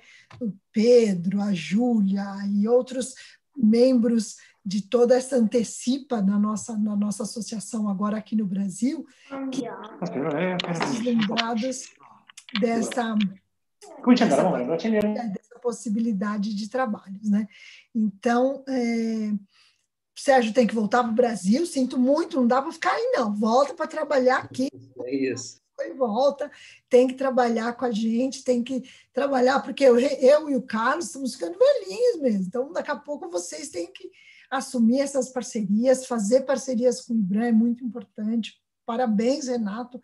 Acho que você é, já acertou um gol, pelo menos, né? Que eu e o Carlos estamos ali que foi mais difícil para nós. Eu acho que isso mostra já a, a, o caminho que o, que, o, que o Carlos já abriu para vocês. Eu tenho que testemunhar isso que ele abriu para mim também. E, e, e, agora vocês já, a comunidade já conhece um pouco essas, essas potencialidades. Né? Então, você ir para o Lu levar um quadro e fazer, o Douglas abre as portas. Por quê? Porque isso tudo são inovações e podem trazer recursos e, e, e, e novos olhares para o patrimônio. Há, há, há, muitos anos atrás, nem vou falar quantos, mas muitos anos atrás, quando o Carlos começou, é, e o Cesário me relatou isso também, que chegar no museu ou chegar numa instituição de patrimônio e falar assim, eu quero fazer uma análise, é, eu queria colaborar com vocês, o Cesário me relatou dizendo assim: ah, nós temos um problema de, de, de, poluição ambiental no museu, você pode talvez analisar. Ah, a gente tem é, ah, um problema de, de, de, de, um, de, de, de uma radiografia que você mas mesmo assim era muito receioso. Eles tinham muito receio de abrir as portas para para essa comunidade de físicos e químicos e biólogos e assim por diante. Então, eu acho que Cesário lá na Itália fez muita coisa, Carlos fez muita coisa aqui, eu fui no embalo, estou fazendo muita coisa, eu acho, mas tem uma geração nova que tem que carregar esse piano agora. E eu fico muito, muito feliz que vocês estão fazendo isso, né? Renato lá, acho que trouxe toda a contribuição do Ricardo, né? Do Joaquim, desse pessoal que está fazendo as coisas. Desculpa se eu esqueço alguém, mas eu sou sempre muito calorosa, mas é, eu acho que tem uma contribuição muito grande na área de patrimônio que foi feita. E esse pessoal novo tem que fazer agora. Né? É, comprar equipamento, eu acho que o Carlos tocou no ponto bastante importante. Custa caro, né? Renato sabe o quanto custa um equipamento desse. Desenvolver, como o Sérgio está fazendo, como o Pedro está fazendo, é muito importante, porque a gente ganha uma autonomia nossa também, né? A gente é, pode fazer, digamos, com o nosso jeito, mas isso custa muito, custa mão de obra, custa, né? Custa financiamento das agências também. Um argumento que nós temos é esse: nós sabemos fazer os equipamentos e vamos pagar um terço do preço, talvez, né? Montando. Então, mas as agências de fomento têm que confiar na gente nisso também, né? Então, acho que a gente pode fazer isso sim. Claro que vai mais rápido, né, Renato? Você já chegou, já colocou, já está montando, já está fazendo, mas você vai ver que daqui a pouco você vai esbarrar em algumas limitações. E aí você vai falar: bom, eu posso fazer desse jeitinho. Eu volto para o meu pontual para que eu consiga entender alguns resultados. E, e Renato, eu acho que é, o, o, escaneamento ele é muito bom, sim, ele vai trazer muitas informações, mas a parte de imagiamento, a Beth tocou muito bem, ela é muito importante, porque ela já te facilita em algumas coisas do mapeamento, né? Então, pense no futuro realmente de, de ampliar seu leque de MOLAB na, na verdade, não é ampliar, é cooperar com você. É colaborações. Porque uma coisa que eu aprendi no Molab é que a gente, assim, é melhor às vezes cooperar do que abrir outras coisas, né? Então, é, não, a ideia é tentar aí ver o que a gente é, pode efetivamente cooperar, porque, assim, ter instrumentos no laboratório, às vezes, é até de manutenção mesmo do sim, processo sim, todo, sim, né? Sim, sim. E eu Mas, acho que e ainda mais que o embaixamento é mais, mais fácil de transportar, né? Sim, o equipamento sim, de embaixamento. Até, sim, até porque, ô, Carlos, você ter a expertise de tudo no mesmo lugar é. Não, é impossível. Complexo. Isso é impossível. A expertise de tudo, como o exemplo europeu bem mostrou, é a sinergia de todos. É, é, é. O Molab, é, eu conheço a história toda, os mais antigos acompanharam, como começou o Molab e como a ideia cresceu até chegar nessa rede europeia fantástica que eles têm. Né? Por quê? Porque eles apostaram, souberam apostar na sinergia da união de todos os grupos, é. da colaboração de todos os grupos e, e não da competição. E, é. e, eu creio que esse é o caminho que nós estamos fazendo no Brasil, estamos começando a fazer no Brasil né, com, com é, sucesso. E eu tenho que chamar a atenção. A nova geração vai fazer mais ainda do que nós. Desculpe é, não, eu tenho que chamar ouvido, Márcio. Não, eu tenho só chamar a atenção que o Luiz está trabalhando bastante nisso, né? Que são essas redes nacionais trazendo essa parceria até com o pessoal lá de fora. Então, o Molá, o, o, o, a Antecipa tem essa proposta, a Luiz está trabalhando muito nisso. E Luiz, se eu não mencionei, você peço desculpa, mas na realidade vocês ainda estão né, com a parte muito mais, acho que o Lacicor tem uma grande contribuição e, e realmente a gente está formando muitas pessoas olhar e essa, isso realmente é um piano que você carregou muito também, Luiz. Então, eu acho que essa sessão ficou bem clara essa necessidade mesmo de maior união. Vocês vejam que na própria Itália, como o Sérgio mencionou, tem grupos que são também isolados e tudo, mas eu acho que o movimento aqui, desde né, a gente com esses eventos, com essas tentativas de aproximação e de financiamento também, né? De financiamento. Vamos ver agora o que a gente consegue nesses próximos dois anos acertar de modo a congregarmos mesmo, porque em termos de infraestrutura a gente já está bem mais que claro que a gente tem, e também temos de, de pessoal mais novo, né? Esses exemplos aí do Sérgio, do Renato, realmente são fundamentais para a continuidade. Daqui a alguns anos, essa essa equipe já está toda montada e já está toda trabalhando e a gente vai é, né, olhando o, o, resultado do trabalho da gente mesmo de anos. Né? Bom, muito, acho que já estamos bem na hora do almoço, todo mundo está um pouquinho, mas eu volto a agradecer muito vocês, toda essa palestra. Eu quero fazer uma, uma foto, Luiz, fica quietinho aí, você sempre sai e entra. Deixa eu fazer uma foto de vocês. Eu vou, eu vou depois disponibilizar todas essas fotos no, no site, tá? E é, muito, muito, muito, muito, muito obrigado a vocês. Essa que a gente possa fazer essas parcerias, que a gente possa fazer essa rede no Brasil. E como o Carlos falou, nós não devemos, em nenhum momento a gente tem que se, se, se sentir competindo. Eu acho que a gente tem que se sentir trabalhando em conjunto, que cada é. um contribui com aquilo que ele melhor tem, e, e eu acho que isso é a parceria, e no Brasil a gente pode fazer isso, talvez é, usando os exemplos lá da Europa, que, que talvez não case, eles não consigam, não, não conseguiram casar, que a gente consiga casar aqui no Brasil e fazer essas parcerias, e, e isso sempre, e olha, podem contar comigo, podem contar com Carlos, Luiz, falo pelos nós três, né, que digamos, somos os linhos daqui desse grupo, mas, é, por favor, é, vamos sim fazer essa rede nacional, vamos trabalhar em conjunto. O patrimônio só tem a ganhar com tudo isso. Exatamente.